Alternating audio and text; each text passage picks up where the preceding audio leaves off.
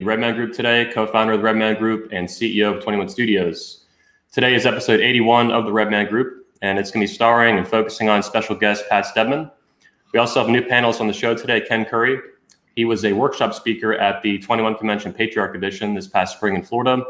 He uh, was introduced to me by Dr. Shawn T. Smith, and he's worked closely at times with Dr. Robert Glover as well. And he was actually on the Redman Group, one of the three episodes we filmed live there in Florida that you'll see later uh, published on the YouTube channel, probably in the next couple weeks. Also, of course, today with me, regular panelists Steve the Dean Williams from themanmindset.com and DDJ from Misandry Today on YouTube and MisandryToday.com. Gentlemen, thanks for joining me. It's good to be here. Good thanks for having here. me on, Anthony. Thanks. Yeah. I'm just not realizing I moved my camera, so I should move my mic. so so in today's episode, guys, what I want to focus on is the red pill itself, as well as Pat Stedman and how his work differs from that, agrees with it, contrasts it, all these things. Uh, right out of the gate, I just got to say that you know one of the red pill icons for years has been Rollo Tomassi, of course, you know from the red pill community, author of the Rational Male, former co-founder of this company, and his number one hatred of anyone I've ever seen is definitely Pat Stedman. Uh, th- this was obvious. This is not like a hidden thing. Anybody who had been watching this community for years or months would see this. So it's interesting to have him on the show and hear what he has to say. Many of our speakers, like Hunter Drew, Alexander Cortez, and more, have recommended me to get in contact with Pat for a long time to talk to him and hear him out. And today, that's what we're going to do. So I'm excited to dive into that and uh, see what comes up from that conversation. So, Pat, can you give, uh, other than the brief introduction I just gave you, can you give our audience kind of a quick intro to what you do and what your work's about before we get into anything else? So I do dating and relationship coaching for men. Um, I I've been sort of in this community for about 11 years now. Uh, got involved with it back in 2008, and that's obviously been a really long journey. Uh, you know, very much in the pickup in the beginning, moved a little bit more into some more authentic types of games as time went on, and then moved into even kind of like explored a little bit of like the sort of hippie spirituality circle and then i found myself in the red pills. So uh, okay. if i can kind of now like where i am now uh, which is obviously a little bit different if i could kind of describe i mean my path has taken me in this direction because i'm always just trying to search for truth. And so i went from being just like a guy who didn't like like many guys right? Didn't understand anything about women at all and it's just kind of been this onion I've been peeling the layers back of. So uh, you mentioned Rollo, and, and I came into this community. I mean, I, like a lot of people, I came to it because of the po- political situation, right? But you okay. get pulled into other stuff as well, and you know, Rollo had a really big following, and he was saying stuff, and people really felt a lot of certainty around it. Mm. And I was really interested because it was very different material than I mean, it definitely had some references to pick up, but it was much more like talking about the core aspects of women. It was less tactical. And it was interesting to me. And so I, I listened to his material, um, you know, because I was at this point, I was just kind of coming out of like the, like the spirituality stuff. And I knew that that was the hit or the hippie kind of, you know, SoCal, I call it the SoCal spirituality community. Um, and I wasn't finding that, that to be a complete answer. So this was really cool because it was explaining things from a different angle, and I couldn't deny certain truths in it. But I also didn't feel like it was a monolithic understanding of women. It didn't square with my experience. It didn't square with other strains of thought. Mm. And so I was trying to find that reconciliation. So, like, in what sense is this material true? What contexts and are there contexts when it's not? And so that was the dialogue that i was first trying to have with rollo i was trying to you know i i didn't find some of the stuff he was saying to be completely well rational. Um, and i was That's trying to add i was trying to add a little bit of of nuance to it. And his response was very hostile. And he this was back that, in the that sounds familiar. Yeah right so this was back in the summer of 2017 and there's a whole series of blog posts on my blog that kind of outline this this conversation so to speak. Um, but i think that the core thing was that i thought that he described women who are on a very who are on an unhealthy or kind of like immature or lower level i thought he described their behavior extremely well. And I've but, seen you describe it actually as uh, the red pill is useful as in understanding the shadow side of women. Yes. The darker elements, yeah. And I, I, I, later in the show, maybe I'd like you to explore a little bit more on that and what that means, uh, more detail. For sure, happy to do, do so. Um, but yeah, so so you know, he talks a lot about the feminine imperative, and it felt very much like this was basically that everything in humanity was like the entire history of man has been this like fight against women trying to control men and conquer men. And I didn't think that that really squared with reality, and so I published something called you know the Ultimate Imperative, and it was really about men and women and their own different biological imperatives and how it comes together, and and we didn't like that, and our and things soured, um, so to speak. The spats got more and more personal. Um, but whenever we'd I, argue, I remember when this was going on on Twitter. It was always like this big clusterfuck.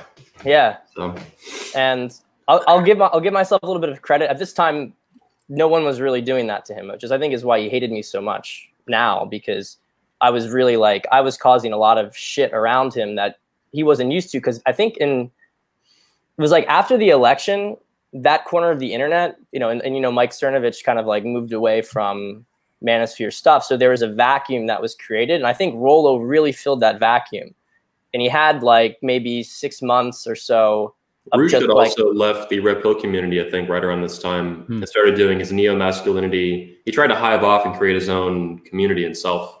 I don't think it ended up working out, but he still has a huge audience. That's that's actually that's right. Yeah. So there was a lot of things in, in this, and a lot of people kind of moving on, and it created a big vacuum. And Rollo really took it took it up. And anyway, so um, we would argue online, and frankly, I think I made him look like an idiot. Jesus. Okay. And so he blocked me eventually, and then he's. But there's always been stuff that continued from then. So we've always had like a, yeah, you know, some low scale war going on. Yeah. Yeah, so I remember just watching these go. I would always just stay out of it. I'm like, I don't really. Sometimes I would get involved in stuff, but usually I just didn't. I was like, yeah, I don't want to be part of this. These are our own battles. He could do what he do what he needs to do. But yeah, I just I know behind the scenes though for years that uh, a lot of our speakers have been rooting for you. They've been talking to me about you guys like Tanner Guzy, guys like AJ Cortez, Hunter Drew, and these guys. And yeah, it was it's you know nice to finally. We've been talking now, you know, over text and DM for a little while, and so it's good to finally get you on the show. It's great to be here, and those are those are really good guys. So I mean, I'm yeah. I'm happy. It seems like everything's been been cleared. You know, who's on yeah. where, who's who's where, right? Yeah. Sometimes things take time to you know heal and to mend or to action to be well, taken.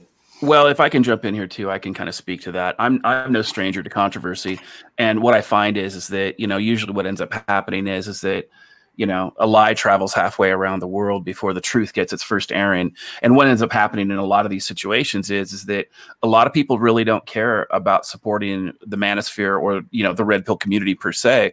And so what ends up happening is is they develop these cults of personality, and then once they have their little cult in place they'll do everything they can to protect it with no regard to the ethics and no regard to you know what kind of responsibility they have as a voice within the manosphere. So i mean and, and, and really the reality is at the end of the day and the last thing i'll say is this is that the truth always comes out.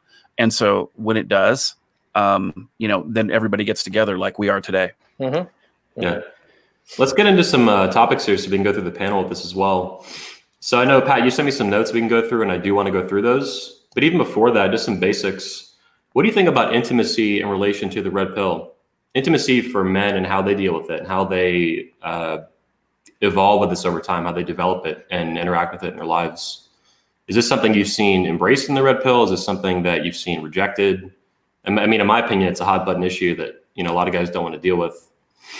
Well, it can go it can go south real quick, being too vulnerable, too intimate, oversharing. There's there's definitely issues with it, in my opinion, but a lot of value in it too. There are, and I think that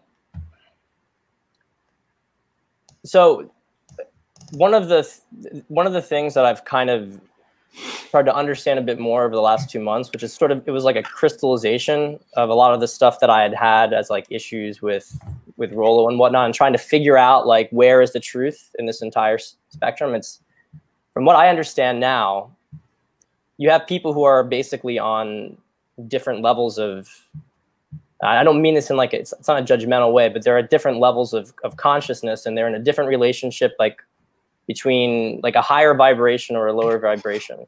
You can kind of feel if you go into a room, like some people might might say some of this stuff sounds a little woo woo, Sure. But I mean, on a most on a more basic level, like you know if you're around someone and they have a negative vibe, and you're just like, I don't really want to be around this person, right?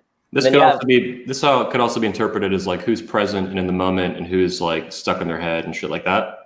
Would that be? It's it's, it's it's part of it, but it's also just like it's an orient. It's like how are they oriented towards other people? So it's so people who are sort of on a lower level, they're there. There's a lot of I mean, there's a lot of anger. There's a lot of helplessness. A lot of scarcity. A lot of obsession with power and control. Mm-hmm Whereas as you go up the spectrum more, there's more courage, there's more love. Oh yeah, I've seen more... you write. Um, I think tears. You have like a you had a blog post about this. I've seen. Yeah, yeah.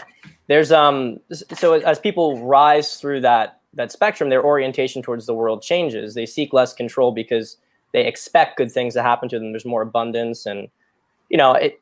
Look, I mean, I it works. It's it's accurate in my experience. Maybe some people don't it may take them some time to understand it in, in full full blow but there are ways that like there are different kind of markets right so everyone talks about the sexual marketplace and the sexual marketplace exists but there are also different dating markets within it and you can kind of segment it in terms of you have a like a low consciousness dating market and so if you're going to be as a guy focused on power right? You want to be the guy who's in control in the relationship, then the red pill is the correct answer to that. Because and, and what a lot of the red pill guys seem to understand, and it's it's correct, they look at feminism, um, especially its later forms, as being a movement to put women in control of men. It's a huge power grab, is what it is. Like a it, huge, yeah. It is. It's a power grab. And so the red pill's response to that is that no, no, we're going to take the power back again. And it's like, well, okay, like, and, and so that's why a lot of guys are like, well, is the red pill really our enemy? It's like, well, I, I kind of look at them like I, I understand some of the points and I can get into some of the, the relevant details about the good parts about it, right? Mm-hmm. But the framework that men and women are against each other, like the only people who benefit from that are actually other feminists, mm-hmm. right? Like yeah, exactly, exactly. Like if you if they feed off of each other because it becomes like a victim perpetrator dynamic. No one's having loving relationships, and so if everybody is like out to get each other, then yeah, you want to know the best ways to do that, and you're going to use an insecure woman's insecurity against her. You're going to and and That'll work. It'll work. It'll work. Like, I was saying recently, you could throw gasoline on daddy issues like this fire. Oh yeah. Oh my god. and it works. Like it, there's a reason. There's a reason we talk about it. and There's a reason that guys have thought this up and executed on these ideas. But hey, but can the I, question, can I, Pat, can I say something with that real quick? Absolutely. This whole Absolutely. thing about you're talking about the power grab and everything, and and I like to really think about the whole power thing on two different categories. One is you're talking about when it's a power grab, it's a power which is the whole thing of the zero sum game where somebody mm-hmm. has power, the other person has no power. And and you got to start we as men we have to start thinking a totally different game with power where I call it abundance power where I become powerful and then my woman becomes powerful and then as she becomes more powerful I become more powerful and there's plenty of power to go around. And thinking where it's not a zero sum uh, plus one minus one equals zero then you start thinking about power how it really is and and then everybody wins and it's pretty damn awesome. Yeah I was, I was, thinking i was thinking about that too like uh, you're putting it like i like the way you're putting it that if you there's so much power on one side it's like this domineering force yeah which, which and it doesn't have to be that way yeah which is different from like leadership and authority and responsibility and respect and things like that which are also forms of power and these things should be yeah well, I, so, yeah, go ahead, Pat. Sorry. No, so, I'm just gonna say, like the man, the man leads the relationship, but mm-hmm. Just like like if you're like an infantry captain, right, and you've got a platoon, like there are different ways to lead. Like you can lead because hey, I'm an authority, I lead. Like you got to follow what I say, or that and which is usually pretty empty. You have to like rely on the sergeant to do things. You'll get fragged, right, if you do that stuff.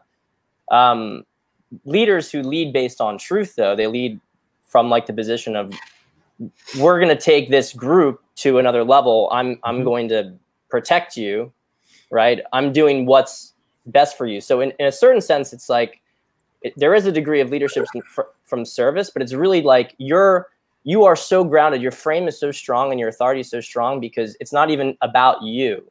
Mm-hmm. It's about a higher order truth. Mm-hmm. And I think that the problem for a lot of guys is that they don't they they have a hard time even looking beyond like looking to that level. By by higher order, you mean like alignment with your nature as a man, like through evolution and biology and psychology, or is it, you're talking about it a little more different than that too? well it's it's definitely that because you have okay. to be aligned as a man i think as a man if you're if you're not in touch with your masculine aspect you, you actually can't do this you won't be mm-hmm. able to there's certain phases as a man you have to go through and once you get your masculinity really understood and, and grounded in you you start to you can start to kind of take it like you know you how do i put it? I mean i talk about it like it's like y- you are discerning what is true in a certain situation. What is what is true what is best what is best for her what is best mm-hmm. for you. And you're leading off of that. So mm. it, it's not about you I, people talk about this as, as like leadership in terms of like a service based leadership but i think that guys might misconstrue because they think oh you're just trying to do things for the girl it's like yeah. th- that is that is submitting yourself to her ego which is like mm-hmm. back in that game like we're not talking about it. obviously we fall in the ego we're humans right but the idea behind it is that you're trying to lead the relationship from a different place from beyond that stuff and i really want to emphasize this like you can't operate in a relationship at this level if you are not willing to leave a relationship because yeah. the, the trap that guys get into is like i don't have a choice i have to be in this and then they're weak and then you can't lead from weakness yeah, so, you have no, you have no, you're reducing yourself to zero options at that point when you yeah. don't. Yeah. So you want to choose to be in a relationship because if you are 90, 90% in a relationship, it is way harder than being 100% in a relationship.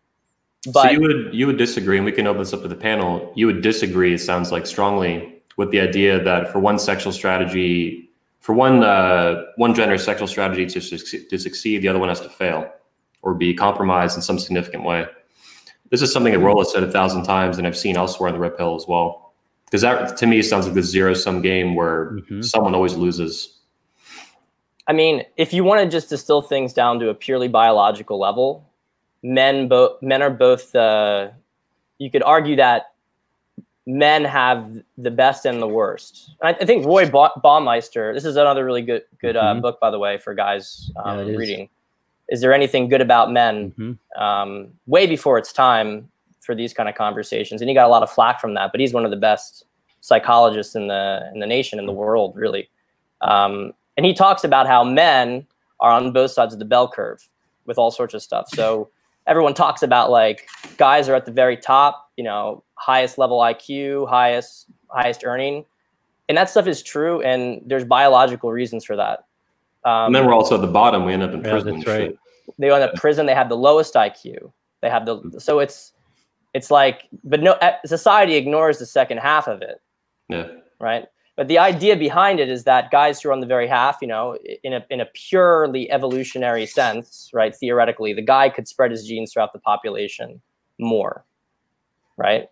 So you can say that women have a advantage against men who who didn't really you know because the idea is that men are expendable like I, I love giving this mm-hmm. example mm-hmm. there was um the war is a very obscure fact but it's interesting the war of the triple alliance this was a war in the late 1800s between brazil argentina and uruguay supported by united kingdom against paraguay so paraguay at one point was like it was bigger much bigger and it was wanted sea access basically. And so there was a there was a war about it. None of the other countries wanted that to happen.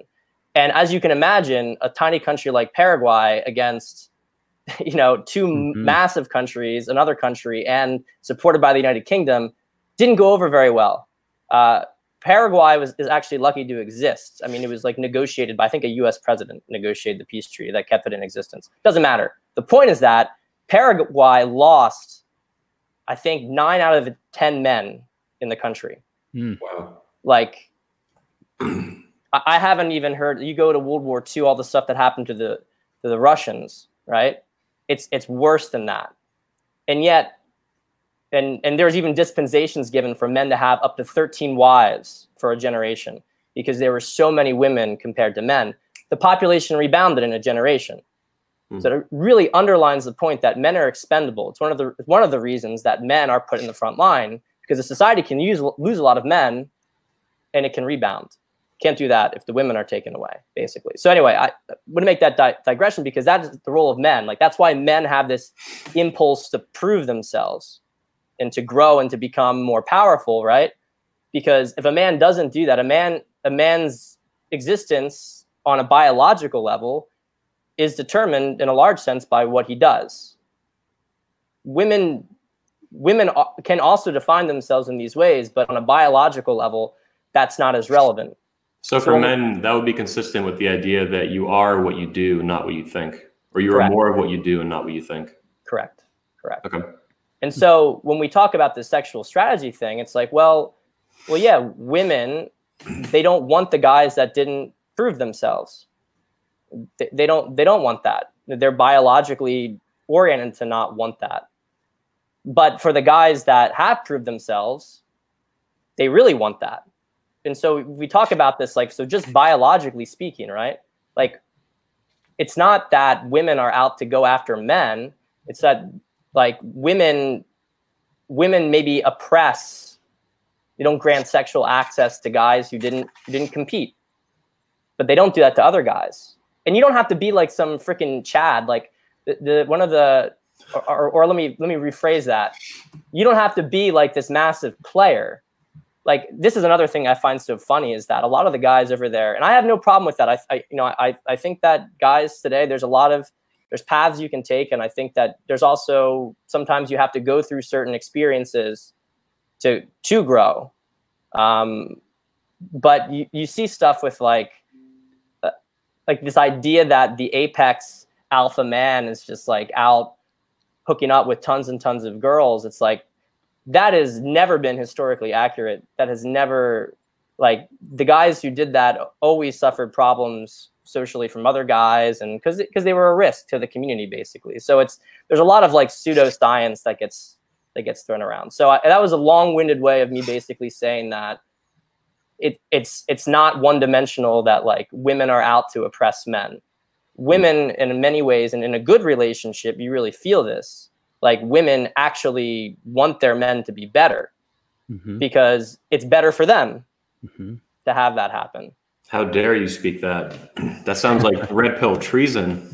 Well here's the thing. It, it, pat hits the nail on the head okay? And, and i've said this a lot in my content as well and that is, is that um, women are not out to oppress men. I, have always said this, you know, and that's why people, when, when you hear feminists reframe the conversation of opposition to feminism as an opposition to women, that is that is probably one of the most disingenuous reframes in that particular dialogue and and the reality is is that feminism is an ideology and there are many many women out there who do not subscribe to the feminist ideology.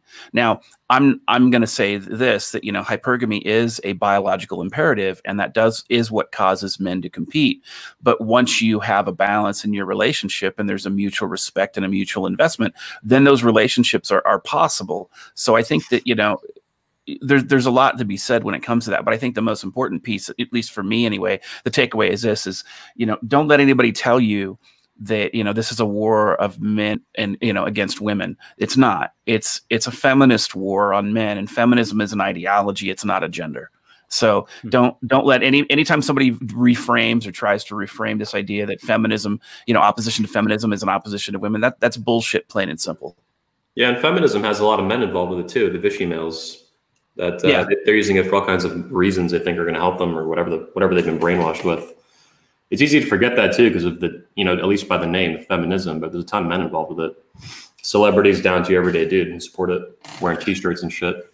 Yeah but let's not make that a segue to talk about vichy males. Yeah. Yeah. Yep, yep. so pat let's get into some of the notes you gave me and we'll go through these in the panel. You guys hop in and in and out as you like. So some of the notes that uh, pat wanted to go over with me i'd love to get into. Uh, red pill's hyper rationalist foundation which is based on a flawed premise of human nature. considers man to be an animal, which backwards rationalizes and justifies unethical victim perpetrator dynamics between men and women. Can you talk to me a little bit about that? Maybe the relationship between reason, rationality, and instinct in men? Sure. So, and I'll come right out of the gate and say this is something I've struggled with uh, leveraging rationality, being rational, even when it might uh, superficially feel or look like irrationality, like it's an impulsive thing, right? Tapping into that side of myself. Can you can you uh, go into that a little bit more, Anthony? Yeah, sure. So being, I, I think, for example, being aggressive and being assertive with women is tapping into a non-rational side of your brain.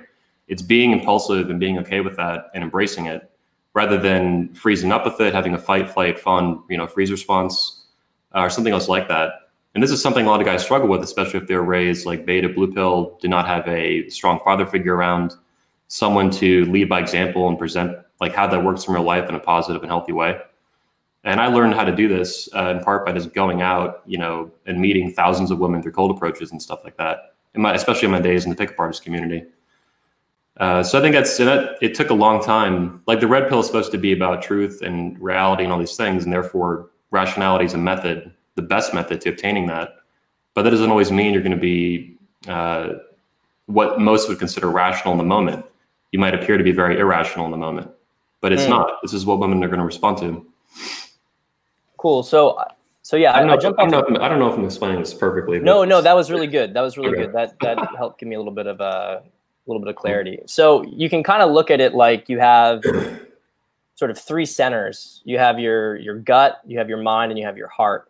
Okay.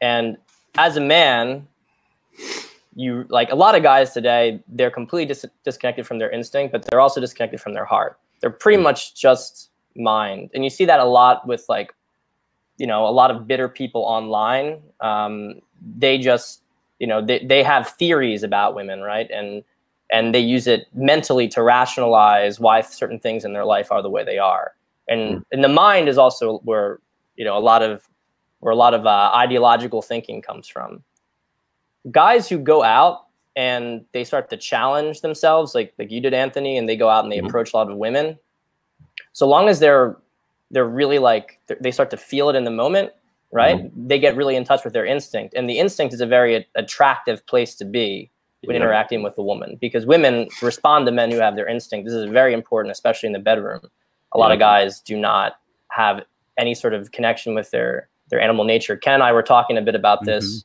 mm-hmm. um, before on the call and that would be you know love to have you jump in and talk a little bit about that afterwards ken based on some of the other things you were mm-hmm. saying mm-hmm. but um, but yeah, now I would argue that there's another part too, which a lot of guys also struggle with, and I think that the people sort of in you know the Tomassi circles just are com- have completely shut down, and that's the heart center, right? And that's the ability to sort of feel feel something for another person. It's it's basically allowing access to love. Now the problem for them is is for, for a lot of these guys at least. I won't generalize everybody, but they got hurt. And so they never had a really good relationship with that part of them. Um, it was always very needy and it would just kind of flail out and they didn't, they weren't in touch with it. They weren't really in touch with love so much as need, but to the extent that it was open, that's how it expressed itself. And then clarify, they got hurt. To clarify too, the red pill community, in my opinion, is notorious for guys finding it after a toxic relationship. Yes. That's how I was introduced to it. And like a huge chunk of that community. That's how it was formed, and that's different from the like MGTOW community. Well, maybe not MGTOW, but that'd be different from the pickup artist community, which is a little more diverse in the, how people find it, and obviously like the men's rights community too. Mm-hmm. Um, that can be part of it, but it's more the reasons people find those communities are more diverse, in my opinion. It's a really good point, and I think that a lot of the PUA guys are trying to develop more instinct, mm. usually when they're going out with it. Um, and I think that the, some of the other communities with Red Pill, there's maybe more focus on like the mind aspect of things, um, and other ones are more concerned with the heart. And I think that if you can combine all three together, you have a really good way of living. But if you leave out one, that's a, that's going to be a real problem. Like the problem. So, for instance, I, I, told you a little bit about my story going through these different, um, you know, communities over time, and I think it's that's actually kind of an interesting way to look at it. because one of the things with like you know SoCal spirituality community, like very very open heart, um, very very not. Just by the name, it sounds like it. Yeah. SoCal Well, it's- spirituality community. Well, it's it's a descendant of the New Age community. It's you Mhm. know, It is. yeah.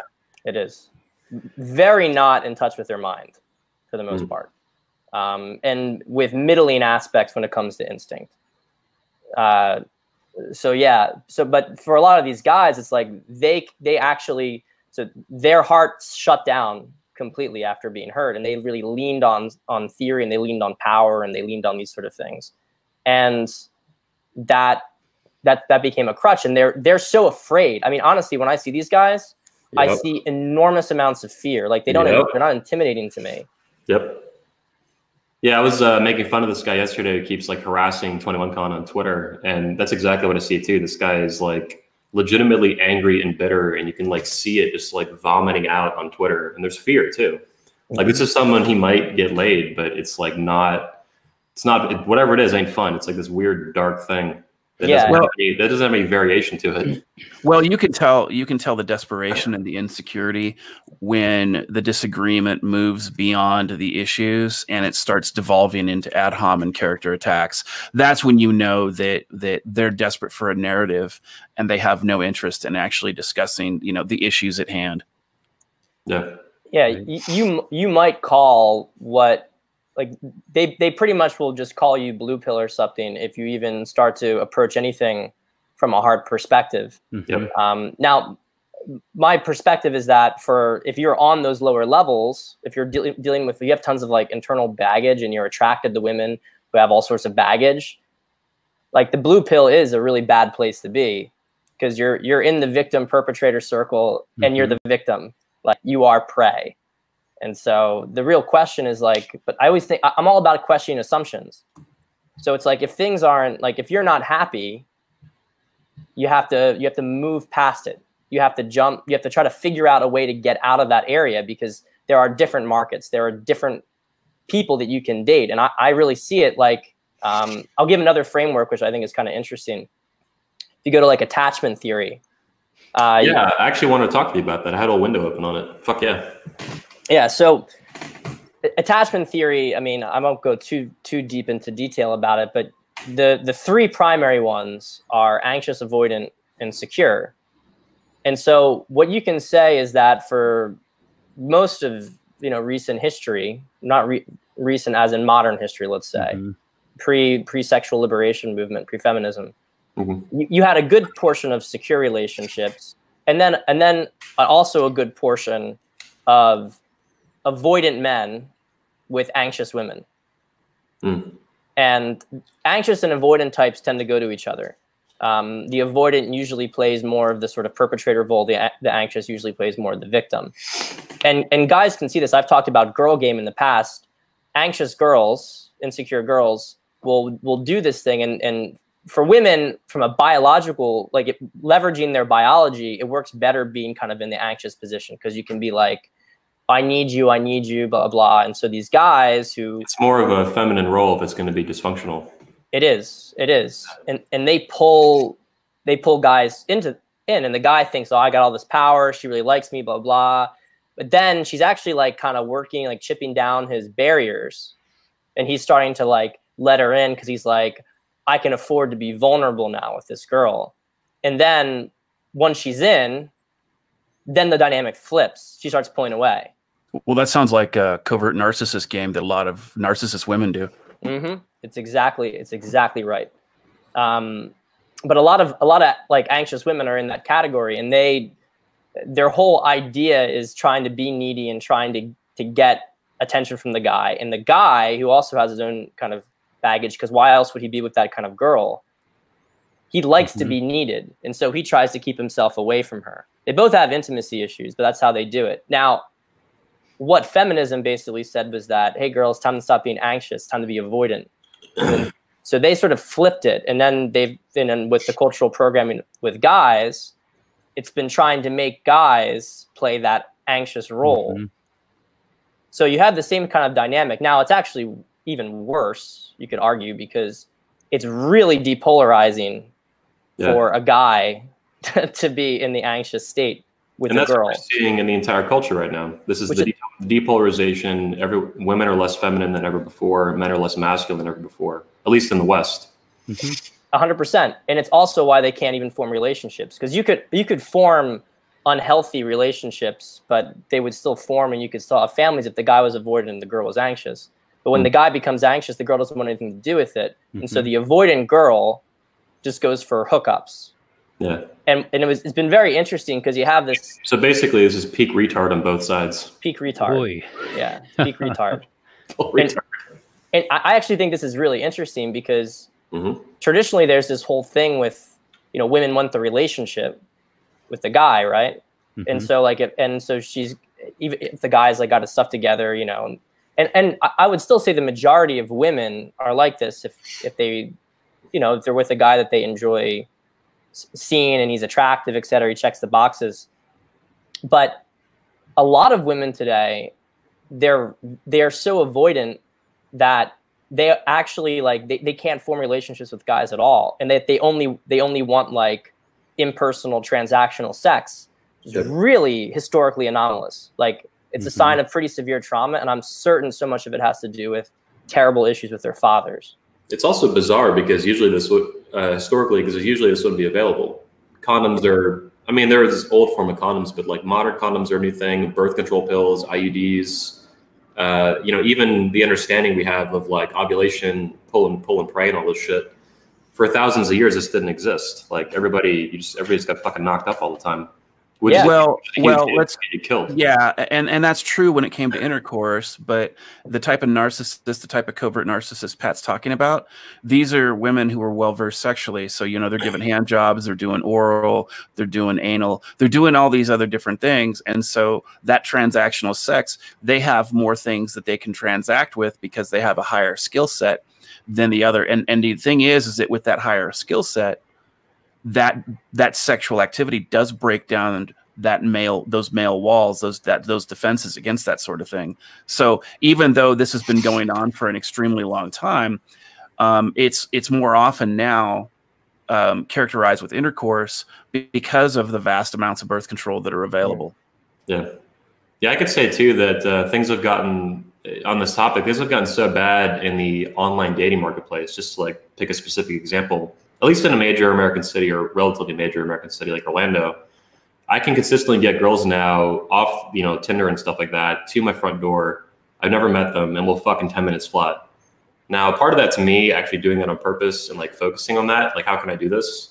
And that's my own stuff that I'm just doing, right? But it's also it's it's I found it to be counterproductive sometimes, maybe I don't know what percentage of the time, but a good chunk of the time to even go on dates Mhm. because these women are not looking for that. And Mhm. it, it slows down this process of what they want to use me for. And so I find it more beneficial if I want to have sex to just go immediately for what I want to do. And it happens literally that fast in like 10 or 12 minutes sometimes. yeah Maybe not what they expected, but that's generally what they expected. No, I, I've been hearing that a ton with with clients, and it's really it's really fascinating. It's really, frankly, I mean, I think it's, Yep. it's pretty disturbing. And I don't think even a couple of years ago when I, I got on Tinder after my relationship ended with my ex-wife, uh, like three and a half years ago, and it wasn't quite the same back then. It was more it was more like 50-50 what would happen and what would be most beneficial. A wine date or something, or just immediate hookup. And now it's just getting more lopsided over time. And I've wondered, of course, like, is this my own bias? Is this what I'm doing? But I'm like, I have friends who do this too, and all of us are like, it's all going this direction, and it's not healthy, uh, especially for the women. Well it's not that it's it's not that it's all going that direction and maybe steve the dean can jump in here too but you know i've i've experienced situations where even pre-online dating where you know you meet a chick and and in a very short period of time it's gotten physical and so i mean it, Mhm. it's faster now because of online dating i think and because online dating commodifies relationships just like you know i want to buy something at amazon well i want to buy this piece of pussy there you go Yep. but i mean even prior to online dating, you know, as an older guy, I mean, I remember going very quickly from one phase to the next. And it's just a question of, of, of escalation because that's what she wanted to begin with. Yep. Mhm. Mhm. Yeah, that's what I've gotten down with a lot of this is how to escalate from like an online swipe to text to phone to on my front door. Or sometimes theirs, but usually it's mine. Yeah. Humble brag. And I, I think a lot of it is also um, it's it's like there's a selection aspect to it. So there are certain girls, and you can. One of the things I go over with with clients on sites is that you can see, you can tell pretty pretty well. I mean, if you if you have a trained eye, mm-hmm. what certain girls are looking for, and I think that um, like a lot of girls are. I mean, I think girls pretty much across the board are obviously all willing to se- sexually sexually escalate faster than they were in the past, but I, I from what I've seen from from the stats and from also from talking to women, I mean, including in New York City, mm. there are. Is that where you're based? Yes. Yes. Okay. There's um, it's it's like with everything. There, it's separated into two different categories.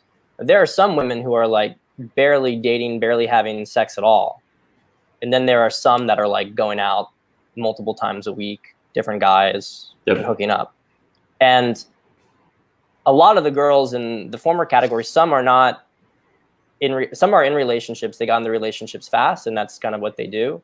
Um, other ones are, are kind of like semi-female incel. Um, they're not nearly as prominent as the male version of it.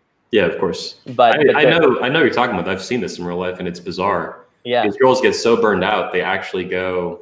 Some of them, you're always, I'm always skeptical, of course, but it's like you really feel like this girl's just so fucking burnt from doing this stuff. They just stop for a while. And they'll eventually pick back up on it. It's like a behavior pattern they fall back into. But they'll go months without getting laid. Mm-hmm. And for them, it's and it's on it's on purpose. They're just so burnt out by it. I think somebody who's getting really burned out are the guys. There's a lot of a lot of men out there going, this whole world that we live in is kind of feeling nutsy. Yeah. It's, uh, I'm I'm it's not providing for me what I really want in life. Mm-hmm. And it's it's one thing to the next um, but it's just uh, pretty much it's just smoking the validation crack pipe, where I'm just getting validation from these other women, and I'm trying to, um, and I get that, but goes back to the whole thing we were talking about earlier with the hyper rationality is if i'm if i'm living with the hyper rationality it's the same thing as living with the hypersexuality it's i'm really missing out on a really big core of my life you know Pat, we were talking about three different categories of there there are so many more than three I mean, it, there's the there's all the the spiritual, there's the body, there's the physical, there's there is my mental stuff, but there's so many internal resources that we have, and mm. the whole thing of not living a life where I'm whole and I'm complete and I'm integrated with all those all the stuff within me. And if I get all bent, like like uh, we've been talking about two different categories of actually three when you mentioned the the the feeling thing you know if i'm feeling without thinking and if i'm thinking without feeling or i'm sexual without um, uh, my uh, core or my values and all that it's like i'm really missing out. And i think the world that we live in with all the sexuality like it is men are really missing out on living a very integrated life where they're really pursuing what they really want.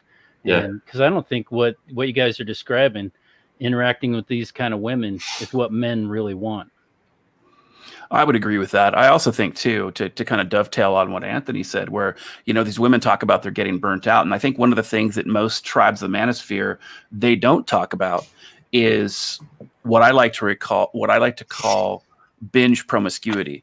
So you know how, like with any other kind of addiction or any other kind of you know mental dysfunction, that's what women are doing. Is they're binging on it from time to time, and a lot of guys correct. don't do this. Yeah, that's what they do. So so these women are running around and they're pretending to be the conservative next door mm. and they're acting like everything, you know, is is is fine at the time, but then they turn around and they do this binge promiscuity where they spend a week or two or three out of the year and you know it's open season and they're trying to compete with McDonald's for how many people served. So I think that at the end of the day, you know that's something that we really need to consider and think about as well because a lot of times what happens is, is if you don't spend time to get to know the woman that you're interested in in some sort of deep level she's just going to compartmentalize you. Mm-hmm. and then when she goes out and does what she does you're you're, you're just not going to see it unless you look at it through that you know through more of a an accurate lens. Yeah we got a super chat question by the way. We should take that. Appreciate that darius thurman. I've seen this guy before. Five dollars from darius thurman. Pat how do you cure anxious attachment and be secure? Counseling, personal mission. Your thoughts? Yeah, um, it's. I mean, guys who fall into the anxious or, or avoidant uh, category, basically, which is two sides of the same coin. I mean, that has to do with a lot of a lot of trauma usually growing up. Um, and, and it may not even be like when I say trauma, like people think like, oh, it was like serious, terrible things were happening to you all the time. Yeah, it's not always like, like that. Are you it's not always with, like that. Are you familiar with CPTSD, complex post-traumatic stress disorder? Um, no, no, no. I, I, would I would be making up if I tried to. okay. What what's tell me about it? And I'll, uh, it's it's basically what you're referring to, in my opinion. I don't know if Ken's familiar with this. He would have. Um, not. Yeah. So one of our speakers, Richard Grannon, uh, who spoke recently in Poland, he's not the first, uh, you know, to focus on this, but it's a big focus for him on his YouTube channel at Spartan Life Coach. It's a big channel, six figures uh, subscriber count. So complex post-traumatic stress disorder would be, he actually calls it CPTSR, so stress response rather than disorder. Uh, he describes it as like a scattershot uh, series of traumatic events. Mm. First is like being in a combat veteran. You went through some serious shit. You saw people die. You killed people. You saw your best friend burn his face burn off. These are traumatic events that are obvious and they cause serious harm, or they can. And we see these in like culture and movies nowadays. It used to not be, you know, respected, of course there's a whole uh, history of PTSD being accepted, I think, in psychology, right? Shell shock, and it evolved over time. CPTSD is not, I think, treated uh, formally yet, but it might be soon in like uh, diagnostic manuals and stuff. But yeah, it's basically if you had a rough childhood and you had like, you had a real childhood trauma, but there wasn't any major event, like say you were sexually abused. It was just 15 or 20 years of like emotional neglect, yelling, screaming, things like that. Mm-hmm. That would be CPTSD forming over time. And then you get stuck in those behavioral patterns or responses to those events as an adult when the when the events are gone. They're not happening anymore. Mm-hmm. But you developed a pattern of behavior that's decades deep. And I think a lot of guys in the manosphere have this. I think I have this. Uh, yeah. Definitely, it's something that's been you know I've had to deal with my entire life. You know, I've only really come to terms with it in the past couple years, approaching thirty. I'm 31 now. Anyway, I'll end my rant, but no, it's akin to mind with what you're talking about. No, thank you, thank you for that. I mean, it's it can be stuff like even if you're like I think people have a disposition for it. There's probably a genetic disposition, but it's hugely impacted by environments. But it could be like if you get you get dropped off for daycare too early and you're and you're completely you know and you're there screaming and you want your mom and your mom's left and everything and that that stuff over time as it gets more and more reinforced it can cause sort of emotional shutdown regulation. So some things are not very clear about how it happens in people. Other times it is very clear. One big one that happens with guys has to do with their fathers. Um, guys who have a, a bad relationship with their father or a distant relationship with their father profoundly affects a man's self-esteem. Does for women too, but it affects it differently. Because as a guy, you can have a really hard time trying to find yourself if you didn't have that sort of guidance and and stability growing up. Well, so, I hear that too. I mean, you're talking about a dysfunctional or unhealthy relationship with the same sex uh, being who created you. You were created by two human beings. They fucked. Mm-hmm. One of them is same sex. The other one's the opposite sex. See, I mean, to me, it makes perfect sense that it would affect women differently than men. The same way a woman's relationship with her mother would be different than a son's with her his mother. Mm-hmm. Mm-hmm. The problem, like a like a bad relationship with a mother, is going to make the guy either way too needy and attached, mm-hmm. or or it's going to. And actually, an interesting subsection of that is that a lot of guys.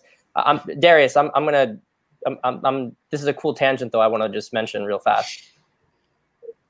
A, a lot of guys, you have the caricature guy who is really, really tied into a woman's um, who's like tied to his mother and he's like a mama's boy, right? He's needy, blah, blah, blah.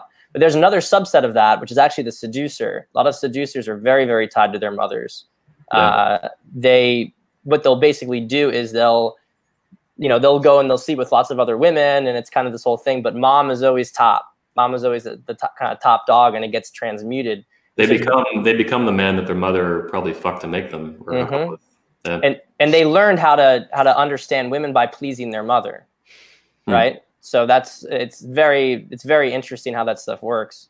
Um, so that'll create some issues. He's either going to have him go into the more avoidant thing, or he's going to be more uh, anxious as a result.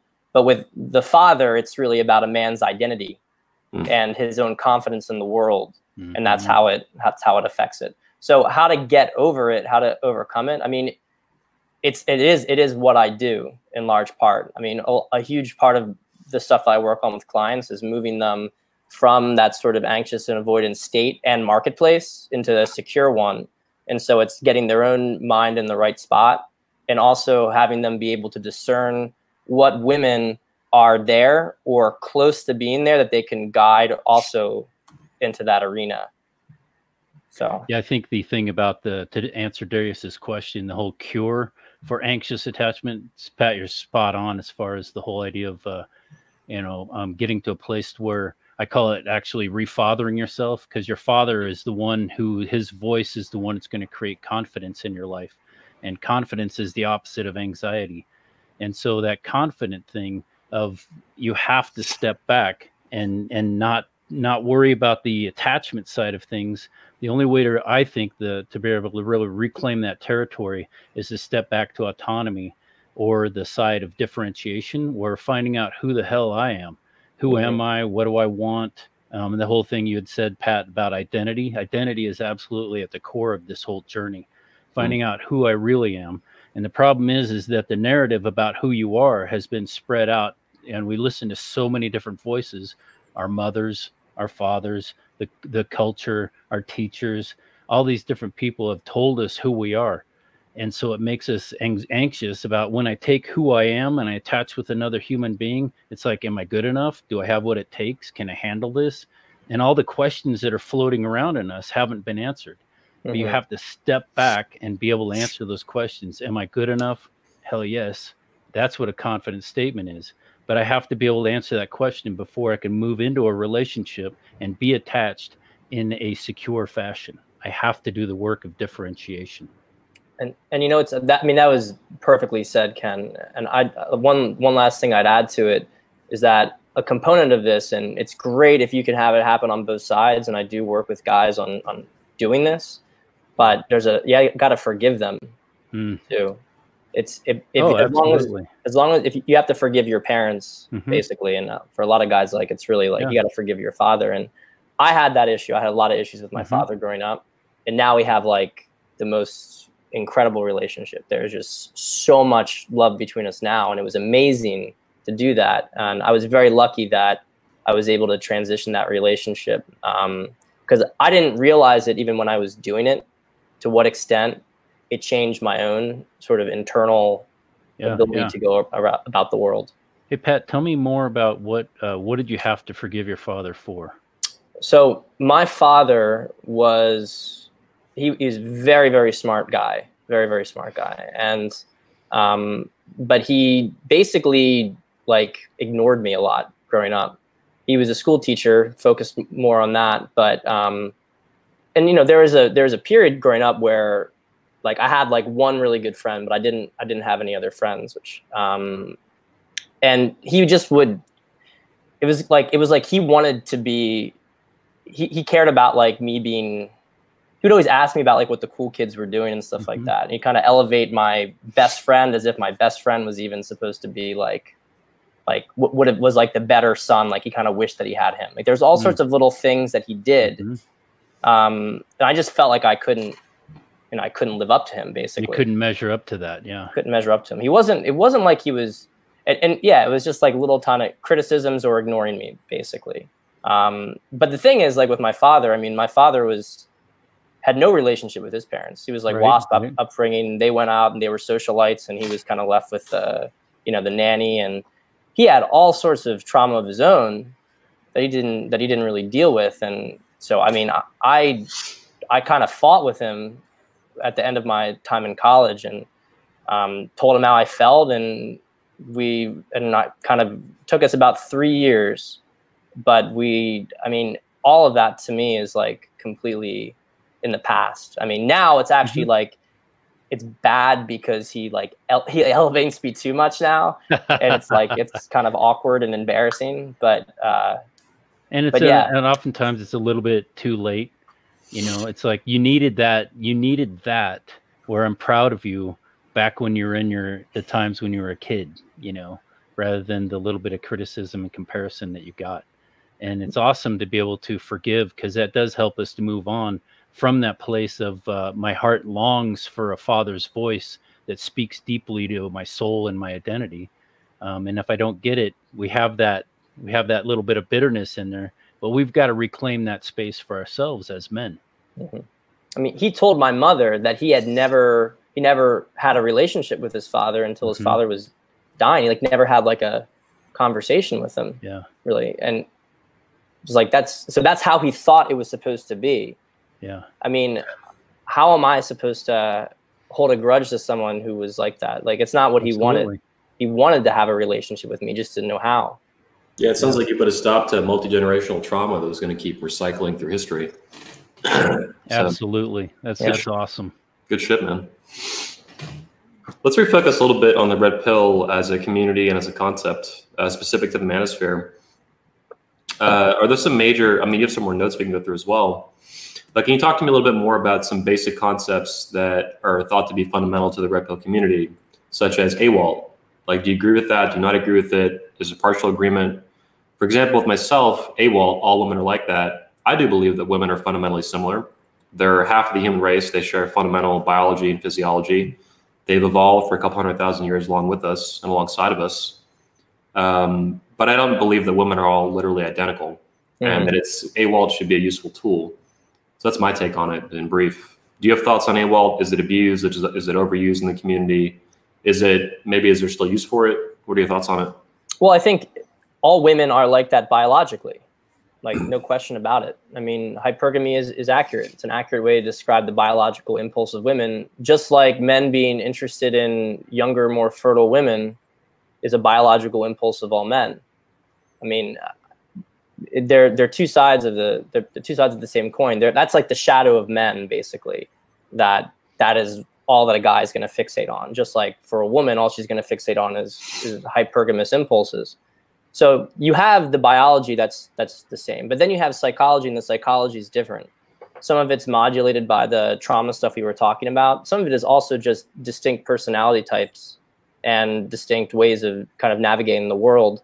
Um, and you're saying then that these are significant ways that affect their behavior, uh, yes. separate from separate from the fundamentals that they share. Yes, it's it's like another variable that you have to sort of add into the equation. I think mm. that from what I from you know my my experience with it is that women okay they're hypergamous but how they're going to manifest their hypergamy is dependent on their health their psychological health right where their orientation is. But also the means in which they're going to do it are going to also go through the through their personality type. And I, and I use you know I, I I'm very public of using MBTI as a as a really good heuristic system I think. It it helps to make a lot quicker calculations in terms of understanding personality patterns. Um, but on a higher level, there's even beyond personality, you have just when people really start to transcend their personality, you could say. And that's really getting closer to, I mean, again, I'm going to be a little esoteric here, but that's really getting close to love and getting co- close to, well, as I would say, it's getting close to, to God. And as that happens, a lot of the personality patterns and stuff even start to reduce because you're just like you're just very open and you're and you're much more accepting the people you care about and you know you understand stuff. So are all women like that? Like in some ways yeah in some ways not. So i guess not right? Interesting interesting. Yeah i found it to be a pretty useful tool or one of the most interesting things i found when i found the red pill community. But i'm following along and it's it's good to hear this kind of conversation. Usually this is this would just get uh, shut out. You'd get ejected blue pill cuck get the fuck out of here all this stuff. So how dare you have a different opinion? I, I just want to. I, I do want to emphasize though, like you, like it's very important, and this is, I think, the value in the community is it's it's very important to understand the female shadow. Mm. Like if you mm-hmm. don't understand it, you will be blind to it, and there's a very very good chance you're going to get consumed by it at some point. Yeah, it will it will go after you. Ooh. Um, I mean, a good chunk of women have personality disorders, including cluster Bs, which are you know predators posing as house pets half the time. Mm-hmm. Mm-hmm. So, my, my my big thing is discernment, um, and it's it it's I, I, I like to think that mine is very good, although it takes time to develop. Um, it's still something I work on with clients, but really trying to understand like red flags, things about people's mm-hmm. behavior. This is one of the things, uh, not to not to go back to it a little bit, but it's one of the things I could tell very quickly about Rollo, which is that he's a narcissist. Yep. And you can you can just tell from from the way that he engages with stuff. Um, so anyway, that was yeah. I mean, and, and I'm able to kind of pick people who are like good good people, and I associate with them. It's why I don't I don't get burned by people because I know when someone's like fucked up. Like I know when there's something wrong with them, and I stay away. And it's the same thing for women, right? So it's a lot of it's getting guys to not. Um, it's not putting women on a pedestal, right? That's part of it, but it's also like really understanding. Okay, this is a woman I can I can invest and I can be honest with. This is a woman who's just fundamentally dishonest, and there's nothing I can possibly do in the relationship that's going to end well for me. And so it's like, don't date that woman. Like that's the answer to it. Or like apply red pill principles and have fun with that trench warfare. Yeah. Well, I mean, yeah, I mean, let's yeah, and, and let's let's be real, right? When you find some chick that you're really interested in, you're sexually attracted to, you know she's a covert narcissist and everything else. If you decide to make that decision, you know, that's one of those things where you have to leave her mid love bomb you know, because because after the love bomb ends, it's it's going all downhill. well, you're playing with fire is what you're doing, and most guys are not going to be able to deal with that. And it's like, even if you're good with dealing with it, still is always a risk. There's all kinds of real life emotional stuff that can happen where you can get sucked in. There's legal stuff, false domestic uh, violence accusations, false rape allegations, all kinds of shit. Oh yeah, it's a dangerous game. Oh yeah, yeah. I mean, for myself, I I avoid the majority of that, you know, these days, but you know, I mean, I slipped on a banana peel once or twice. Yeah. Yeah, but it's so easy to get caught up in in uh you know we're talking about all women are like that and everything and and there's a corner of women just like there's a corner of men who are uh like you said they're immature they have a sh- their shadow they've been dealing with trauma you know and it's like and uh, pat i love what you're talking about and shawn smith talks about this as well vetting women and being able to find out if they're able to be held accountable or if they're able to have the character that you want in a in a relationship. And that's what's really important is being able to pay attention to what what's my gut say what's my intuitive say and and moving forward with what i want. Um because most guys get sucked into these horrible relationships because they're going after a relationship for the wrong reason. They're going at it for this woman's going to complete me. This woman's going to yes. make me feel better about myself. This woman's going to make me whole. This woman's going to answer the questions that my father didn't. You know, am I good enough? Oh, she likes me. Therefore, you know, I, I go to her like a moth to the flame. And it's like those women that we go to without paying attention to what our gut's saying, saying, run away, run away, there's red flags. Um, we get caught up in it. And that's where we get, we get fried and but i'm just what i want to say is that we yeah there's a lot of stories of guys getting burned by women but there's a hell of a lot of good women that have good hearts that have a lot of good character. And it's our our place to be able to pick and choose from our values from our character to find out the woman that we really uh, that really does fit us that fits our values. Ken that was amazing and i want to use it just to jump off on something really fast because this is something I, i've been thinking about the self-awareness is the most important thing. And i think that one of the one of the big issues with you know these sort of red pill circles is that they understand women at least on a certain level but they don't really understand themselves very well. Mm. and it's the self-awareness that allows you to choose different ways of to kind of change patterns. Like the reason that everything seems like this is the way it is it's this fixed reality. It's like well that's because you are fixed in this way and you refuse to change who you are and change your own perception of things. And so be, they hmm. basically like resign themselves to having certain feelings of, you know, resign themselves to certain trauma. And if that's your paradigm, then yeah, there's no escape. But, yeah. We have a couple of viewer questions here we can get to as well. I'd like to get to them. Uh, and we can hop back into some red pill stuff too. I have some more questions. In the meantime, though, guys, as well, before we get to the viewer ones on uh, text, phone lines are open. You can call up Steve the Dean here. We'll get you on the show. Phone number is 515 605 9373. You're welcome to call in, hop on the show. If you have the balls to man up and call in, we'll be we'll probably be nice. We won't hang up on you unless unless you're a dick, in which case we'll uh, before we get into any of that, though, we have two questions here to get to.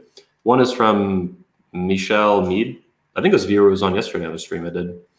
Do you think this trend will continue as Gen Z comes of age, since it suggested they're more conservative? This was uh, a little bit earlier in the show. I missed this one. I think it was a reference to like hookup culture, Tinder, Bumble, online dating, uh, the way sex is, uh, you know, falling off a cliff. Like these bin, you know, these binges that women go on and men, you know, using online dating, and then you just get burnt out by all this shit. so, do you have any thoughts on Gen Z and hookup culture, Pat? Let's open the little panel too, guys. Yeah, uh, I do actually. Um, so we're going through a divergence right now, and so you're seeing some are are leaning more into that area, others are are pulling away, and and they're they are becoming more conservative. Um, this is something actually. It was something that I mentioned in some of my dialogue with Rollo early on. Is that if you want to change female behavior, men have to change their behavior. Mm-hmm. And so if you're a guy who, you know, you have your shit together, you're in shape, you know, you're successful, you're confident, which a lot of which comes from like mass, like mastering your sexual urge and whatnot. Like your women are going to ad, ad, adjust their behavior to you, which is, which is one of the things that, you know, I think a lot of these guys are LARPing, but it is interesting to see the trend of like thot patrolling. And these guys who are you know oftentimes talk to me talk to me about thot patrolling. What what does this mean? It's like the thot audit like the tax thing or something else? So uh, thot for those who don't know it's a very gen z term that hoe over there just like a hoe. It's just like the new the new word for it. Yeah. but it's basically like patrolling them in the sense of you know patrolling their behavior so like a girl will like be posting and some sort of scaling things like tell me what you're th- tell me what you're thinking it's like you know, and they'll just basically make fun of her and they'll tell her to, you know, you know, they'll, they'll tell her to F off. Like I saw some video the other day of a bunch of young guys in Argentina who were surrounding a church, basically, that some like naked women were trying to enter. Um, you know, this is, uh, and not to go really far down like a political thing, but but the trend is definitely towards an ascendant um, right mo- right wing movement among the youth is as a reaction to things that are going on right now in culture. Um, so, but as those guys, I mean, if, if this trend continues and the guys become really strong and really like women will adjust their behavior for it because women always want the top guys, right?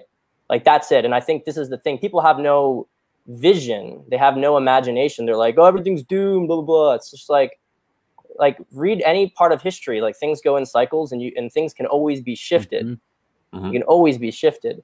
And if as a guy you become the strongest one, you set the tones, you set the morals for society. Right now we have a bunch of libertines that are and you know, frankly, I'll be honest, like a lot of degeneracy that just kind of ruling society. And if mm-hmm. guys who have their shit together say no, women are going to change because what are they going to do? They're going to go for like the disgusting guy who wants to have sex with them. Women never do that. Well, and and what's interesting about that, just to kind of dovetail on that a little bit, is this idea of of this libertine degeneracy and all the virtue signaling in support of it. I mean, it's it's insane over the last I don't know, probably I'd say three or four years of all the degeneracy that I have seen, not just from the left, but even for certain people who, mm-hmm. who call themselves red pill in the manosphere. They're they're trying to virtue signal for what is obviously degenerate and psychologically unhealthy behavior in addition to you know the other types of lack of, of of healthiness that these behaviors engender so yeah i mean it's it's i mean when it comes to some of this stuff some of these people who virtue signaled us they've gone full retard mm-hmm. yeah. one of the things that's pissed me off about the manosphere over the past couple years is that i've been trying to bring in successfully in some cases using the red man group and 21 convention an element um, a larger element of fatherhood and patriarchy and discussion about these issues and you know, even guys like Black Label Logic, a former panelist in the show, uh, he recently said a couple weeks ago on Twitter, I saw, and because it, it, it, captured perfectly what I was talking about. He said he missed the manosphere when it was about sex, drugs, and rock and roll or something like that. And this is largely in jet, in part in jest, but it was also a real uh, expression, I think, of what he was thinking. And I don't have a problem, particularly with that kind of behavior. I've done this myself. I know and respect guys who do this. I know guys who go through different phases and stages in their life, kind of binging on it, getting in and out of it and stuff. As they're going through the journey in life as a man, figuring shit out and taking mm-hmm. action. It's that these guys want us to respect their involvement in the manosphere, but they don't want to re- respect any involvement from any serious involvement in discussion of fatherhood, you know, lowering degeneracy in culture and all these other things. So it's like this SJW mentality. Tolerate me, but I'm not going to tolerate you. So it's, it's this hypocritical fucking position they have it's really retarded. It's not masculine. I don't like it at all. And it's been changing over the past, let's say, you know, maybe year with Red Man Group Patriarchs and with the Patriarch edition of the conference we had. Well, I mean, I think that guys who are obsessed with that stuff, especially as they come into middle age, like, I think it shows that a lot of arrested development going on. Um, I I am like I help guys get laid, like. How dare you? How dare you? Right? like I, but I, but one of the big things for me is everything is about self awareness. So I'm always like, like pay attention to how you're feeling throughout this entire process. So I'm like, I think that you know, I, I not to use a, the expression, but like I think people find like God through the gutter. I think it's a very common way. And in a society today, when everything has been so promoted, sure, it's cool if you have some guys who are like, all I want is a really serious relationship with the, a good girl. I'm going to focus on all sorts of inner stuff and just go for that. And they want to target it. You know, I'm not saying that they need to go and be promiscuous if that's not what their heart wants. Mm. But a lot of guys, they have insecurities around that. So it's like, okay, go date some girls. But like, don't look at this stuff as if it's just like pay attention to if it's making you happy or not. And what happens with like effectively 100% of my clients is that on a you know year timeline like after we're working together right? But like even during the process they, they can feel their orientation change. And so they start they get they start to get girls. And then you know maybe maybe date a couple of girls at the same time. And then they're like well actually I want more meaning in my life. And then they move beyond mm-hmm. that. And I think that that is the real problem is you have a bunch of like, you know, nihilists who, who never really, who were like, ne- never felt cool or whatever. And they're, so they have no sort of sense of meaning in their life. And they actually think that meaning is like some sort of sign of, of weakness. Like you're like, cause they, it, it's again, like we were talking about before, there's like a trauma aspect to it. Mm-hmm. So, um, so yeah, I mean, well, I, I, think that when you when you're talking about that too, one of the easy ways to spot these types of guys are the guys that are rational at the expense of their emotional side. Mm-hmm. You know, these guys can talk yeah. about the things from a theoretical sense. They can talk about it from a rational sense. But the second that you start having this conversation about how this affects the emotional man, how how this affect you know how the ethics affect his emotional well being. I think that's when all of a sudden that's when all of a sudden they start falling by the wayside, and that's when you, it's easy to go okay, that voice on the internet, that person there is a narcissist and they're only caring about their cult personality. They don't really care about you know the ethical requirements of you know what they need to have for their audience. Yeah, hmm. yeah, I, I, think a lot of them eschew ethics because they see it. I mean, if, if you don't have any sense of meaning in the world, and if you think people are just animals, then I mean, you, it's all like, let me get what I can get for myself. But the funny thing is, like, I don't, I don't personally find any. I mean, I, I know that we talk about dialogue and, and whatnot, and dialogue is a good thing. Like, we should definitely like talk to people on this stuff. But to me, it's like that's no different than the kind of shit that comes out of the worst institutions in the world right now. Mm. Like it, it really just like it's the same kind of stuff that promotes like you know teenage girls doing anal and whatnot. Like it's it's really to me it's like I don't have any sort of I, I don't I don't understand these people. I think there's a very big difference between like you know do what you want with your life, but people who like actually put doing all this stuff as like a god. Like that is the meaning of life is mm-hmm. to seek as much hedonistic pleasure as possible.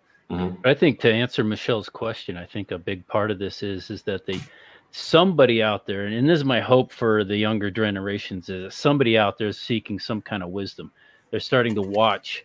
You know, it's uh, it's said that the uh, the smart man learns from uh, his mistakes. The or the why. Let's see how to. Sorry, the wise man learns from his mistakes. The other, the smart man learns from others' mistake, nah, something mm-hmm. like that. But anyway, they're learning from somebody else. They're learning the wisdom. These these a whole generation is screwing them themselves up. They're messing up their lives. They're doing all this stuff. They're they're um, and I, my hope is that the younger generation is going to see. I don't want to get into that kind of debt. I don't want to get into that kind of ruin. I don't want to get into that kind of promiscuity that's just is just kind of erasing your soul. I don't want to deal with this stuff. And my hope is that some people are actually watching, some of the younger people, and they're mm. choosing, let's do this differently. let's find let's find out how we can do this in a wise fashion. Well, here's a fun a fun follow up question: Are we suffering from the sins of our fathers, the boomers? Uh, I mean, in my opinion, you know, there's there's very obvious versions of this, like Social Security being beyond bankrupt, but also, I mean, that, that's just a political and financial issue. I mean, there's issues. I think, in my opinion, there's parallels to that in, in culture that we're feeling. Do you have any thoughts on that? well, as far as uh, Elliot had had his conversation at the patriarch about the you know the degenerate age and doing relationship in a degenerate age and you wonder how much the uh, how much the boomers of which i'm at the very end of the boomers the young boomer mm. and uh, and it's like uh, man i remember growing up it was it was the time this is where the the sexual revolution happened this is where feminism really started to grow this is where you know people were really questioning the vietnam war i mean it was like there was a lot going on and tons of things shifted mm. in our culture. And so, like blaming the boomers for the beginning of this, sure, you know, they all it's a, it's what where it all started to become more degenerate, to become more open, become more um, I don't know what else you'd call it, I don't even know if I'm answering your question, but uh, it's a, it, it, was a saying I heard recently, just that every generation suffers from the sins or lack thereof of their fathers. Yeah, and I, I, had not seen it put that way before, aside from the boomer stuff. That's well, I think that I think that when it comes to the boomers, and I think when it comes to a lot of this, I mean, I think it's easy to blame the other generations because Absolutely. you know, as a gen as a Gen Xer, you know, I'm going to have millennials blaming me, and I blame millennials for a lot of things. But I think that that the reality is, is that I think that when we talk about generational disparities, I think the biggest mistake that we make in most cases is not discussing the lack of multi generational mentorship within our own families and within our own communities. And I really think that that's been the biggest tragedy when it comes to masculinity across the, mas- the manosphere, regardless of the tribe, is because the lack of multi generational mentorship when it comes to this sort of you know grooming strong masculine men to be strong masculine men. The issue that I see with it is that because we don't have that, every generation of men is becoming less and less masculine. They're becoming less and less psychologically grounded. They're becoming, you know, they, they don't have, uh, you know, mental or psychological resilience.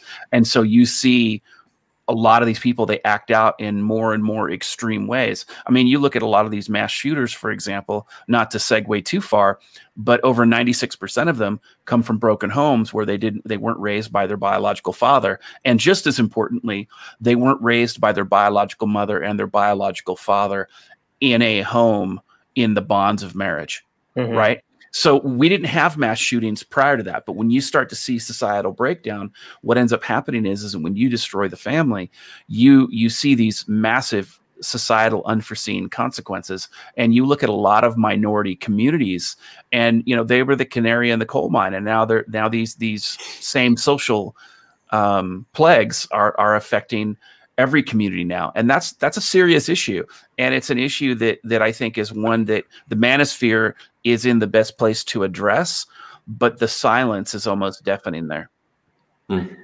yeah yeah i mean I, so, did someone say something i just said well put okay yeah, yeah. no i'm i'm like I, I love that like that was that was really spot on um i'm gonna be like a little bit of a boomer defender here for a second, or at least uh, try to contextualize some things because I, I have the same. So, so you're saying you're going to be a trans boomer? I'm gonna be. I'm a trans boomer right now.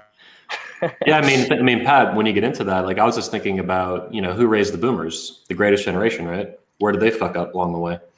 The big mistake the boomers made, and, and I'm I'm controlling this conversation from the sense of ignoring any potential um, subversion and whatnot that influenced ideas that came about, but focusing on the on like the boomers and their state of mind. I think it's really tough for a lot of us to understand what happened in the first half of the 20th century. You had countries that basically like controlled the you know controlled the world. We were technology, everything was moving forward, and then a 100 million people were killed. Like we had massive, massive wars. And it created a very, very like, like, you know, we talk about the greatest generation, you know, going through a depression.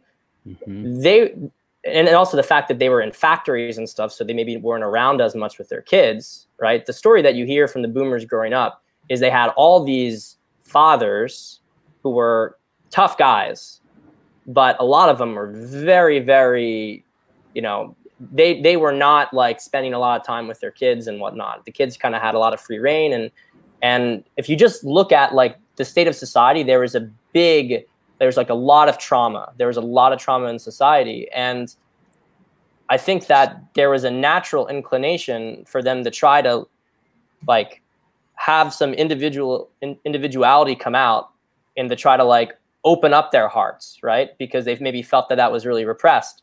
The problem is that the way they went about it was terrible. They basically took all these things and, and you know maybe we need to move to a different level of consciousness so we prevent the wars and stuff from happening again and so that we can relate to people on a different level. Maybe you know the 50s everyone idolizes the 50s but there's and, and there are a lot of good things to it. But a lot of it was is also like marketing. Like there was a lot of also repression and people very unhappy in relationships. Everything was very very forced because everyone thought the world was going to end. Hmm. so yeah there so used to live in fear of constantly blowing up from the soviet union. I know exactly. my dad my, my parents when they were kids especially my dad he grew up in Miami, so they used to do drills where you get under the desk as a kid. Oh yeah, if the bomb if the bombs were going to drop, which is just yep. you know fucking useless. Yeah. But, so so they had this whole thing, and they were they were trying to to find they, they, but their mistake was that they thought that everything that came before them was wrong and bad, and hmm. so they had this big backlash to it, and so they they threw away things when it came to all sorts of things that had grounded the like countries for centuries, all sorts of political policies, and they kind of embraced almost like a complete destruction of society, at least on the higher levels, right? Or they were just naive to how things could have consequences. Like they shut down their brains, right? They were so open with their hearts to shut down their brains. And this might be like the sexual liberation movement for women, which all these betas thought would get them, uh, or less masculine men thought that would get them all this pussy, but the opposite happened. Yeah, I mean, relationships. Like, I, I think that there is a there's a potential. And I think that we we can have a reconciliation. Like, it's not going to go back to how it was before, in my opinion. It's never going to go back to and what was before, right? There's all different ages that. And why, why would you want that anyway? Because look where it ended up. Yeah, exactly, exactly. The problems there were problems that caused this backlash. Mm-hmm. The problem was that the pendulum swung too far in the direction. So I think our real role here is to like go back to the roots and see, wait a minute, this stuff was good, right? But then there are also some problems here and acknowledge where the problems were and, and build from there. And, and I think we, the guys who do that, I mean, we're going to inherit the world and we're going to build a new mm-hmm. world. And mm-hmm. I think it's really amazing. The sort of that that's like the, the, the amazing part about this community is that there is this this side of it of people who are really like creative and and driven to see a better society, better mm-hmm. relationships between men and women, mm-hmm. and uh, better nations. That's what I do. That's what I think about every day and work on with my company. Well, mm-hmm. several I have now. Yeah, I like that perspective, Pat, because it's like uh, some people are sitting there, you know, with the label "Enjoy the Decline." This is all going to hell in a handbasket and all that, mm-hmm. and it's really being represented by all the different movies that are out there that are the dystopian future. That this is what the future looks like. It's all falling apart. But I mm-hmm. love the idea that there's there are um, a con there's a conversation going about how do we make this thing how do we empower men? How do we bring back our soul? How do we bring back our presence in our homes and in our community? And i just love that idea because that's going to change everything. Yeah. yeah. You know ken i've always found it difficult too to understand how anyone man or woman could enjoy watching their country burn down slowly. Mm-hmm. like i don't that there is no enjoying the decline. Yeah. it's just no. it's beyond stupid no, because you're sitting there. If you don't have kids, I got kids and I don't have grandkids yet, but man, I want the, the best thing for them forever. I want mm-hmm. them to have the best and, and yeah, be able to, uh, be to, for me to provide as much as I can to be able to create a world that is, is really powerful and abundant and beautiful. Yeah. I don't have any kids yet that I know of, but I just love my country and love the and there, there's problems with it, obviously, that I've you know very sharp criticisms criticisms of. But I love this place. This is where I grew up. It's my home. I've traveled pretty well around the world, and it's still my favorite place on the planet. Uh, mm-hmm. Poland, I guess, would be a close 2nd mm-hmm. But uh, yeah, this country is you know it's fantastic, and it was given to me for free. All yeah. I did was mm-hmm. I was just born here, and I, inherited you know very positive, strong, masculine decisions that have been going on for generations in this country. America is one of the oldest republics in the world now, and it's obviously influenced the entire West, so the whole world. We have some more. Uh, I don't know if we have any phone line questions, but we got some more chat uh, text ones here to pop in. Um, we'll get to these uh, one by or in order. This is from earlier in the show. Omar Tin. I like his little uh, icon there for his thumbnail. Omar Tinoco, Tinder. Do you ever challenge yourself and apply the game toward high value women at cold approach, Panera, or Starbucks? I'm guessing he was referring to me, although anyone that wants to hop in on this.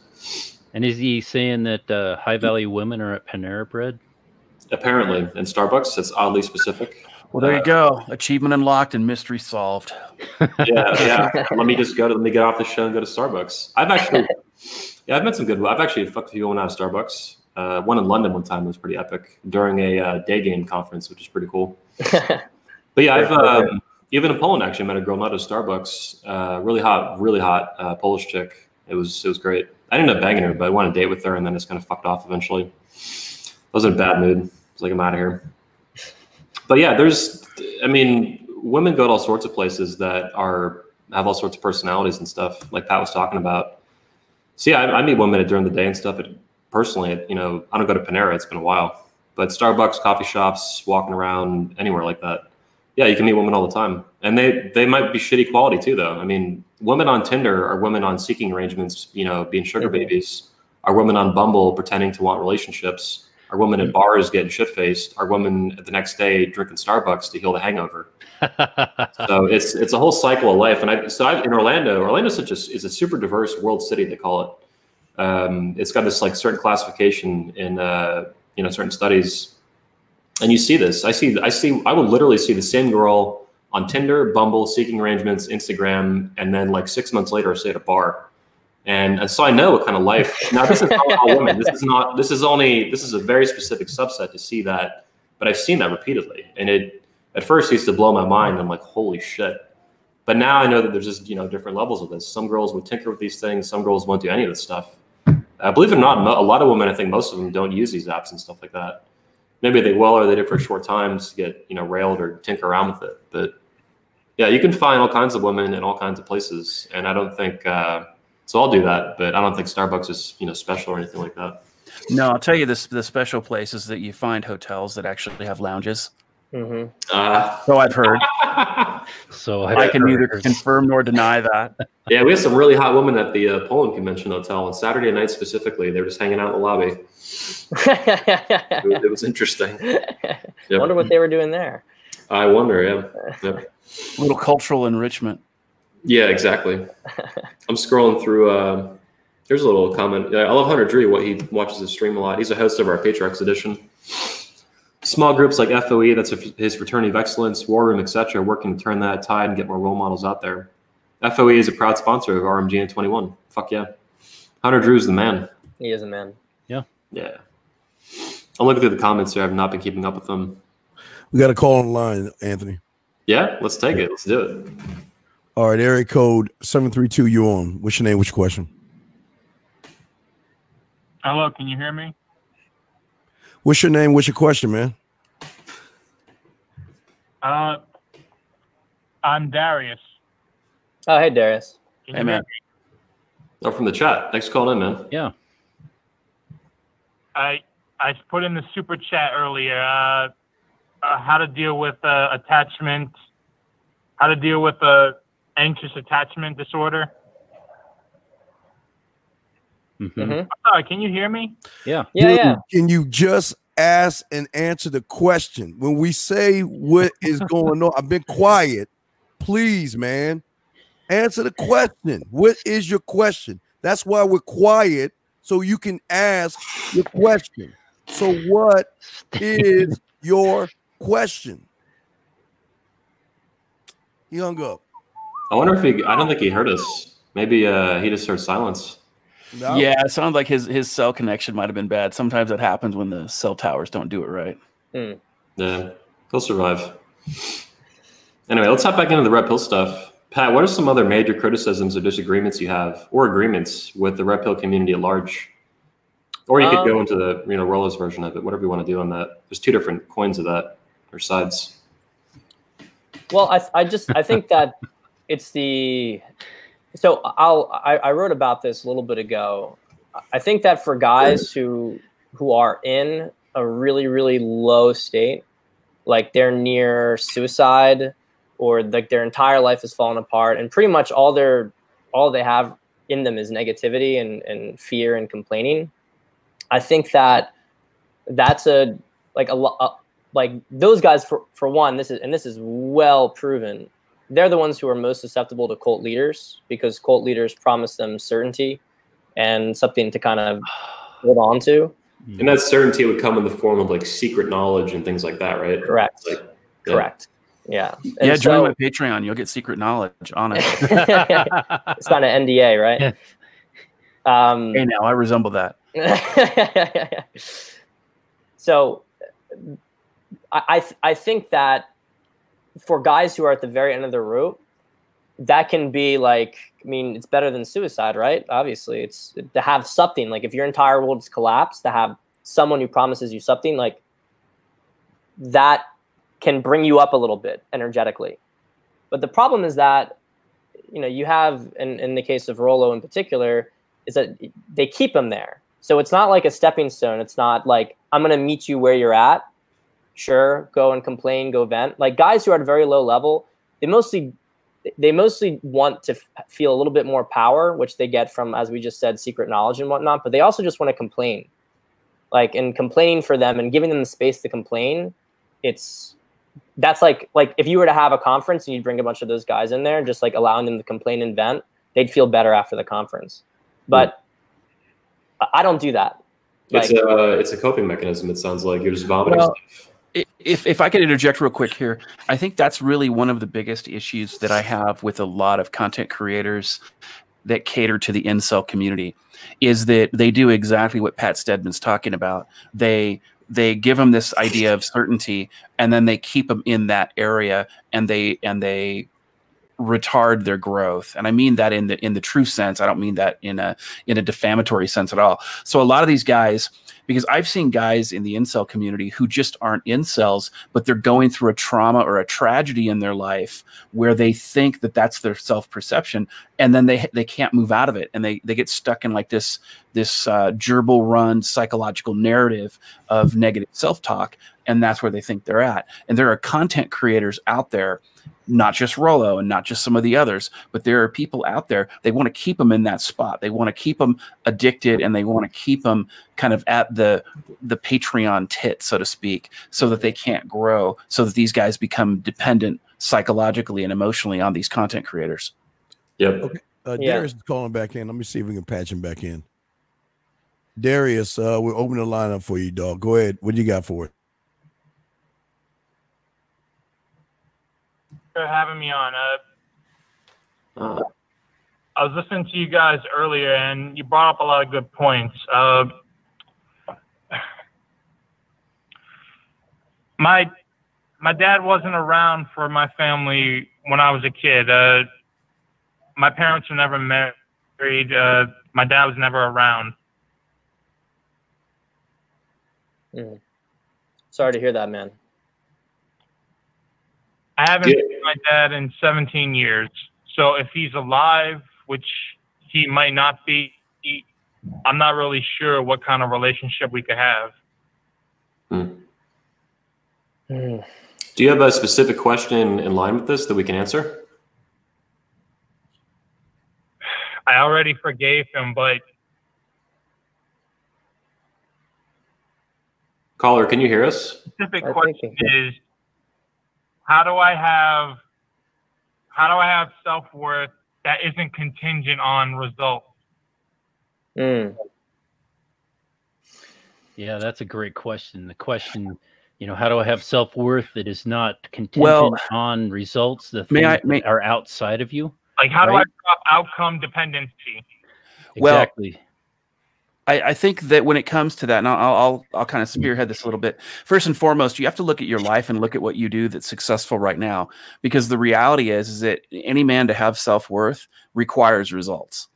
So the thing you got to look at is, is that what are you doing right now that is successful for you? I mean, obviously you were capable of calling on the phone, so you made enough money to either have a cell phone service or something like that. I mean, some of us got to start at a real basic level, but the point is, is that you know everybody's talking about well you you don't want to have results the reality is is that i think pat said it earlier um, in the beginning of the stream that you know men are based you know who they are is based on what they do It's based on, you know, men are men of action and successful men are men of successful action. And so look at the results of what you're doing right right now and then try to slowly but surely create more successful things that you can do in your life regardless of where you're at you know? If you can't do four push-ups today well you know keep doing push-ups and then maybe tomorrow you know or, or next week or next month you're doing 20 or 30 or 40 or 50 push-ups. The point is is that it's consistency. So i think that the real big issue is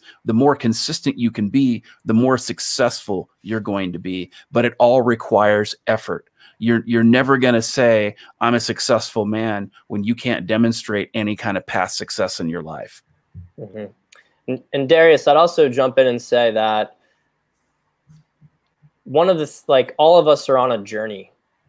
And when I was 21 years old, when I was first getting involved with this stuff, like if I went to a party with people I didn't know, I'd have a panic attack in 20 to 30 minutes. I'd have to go home.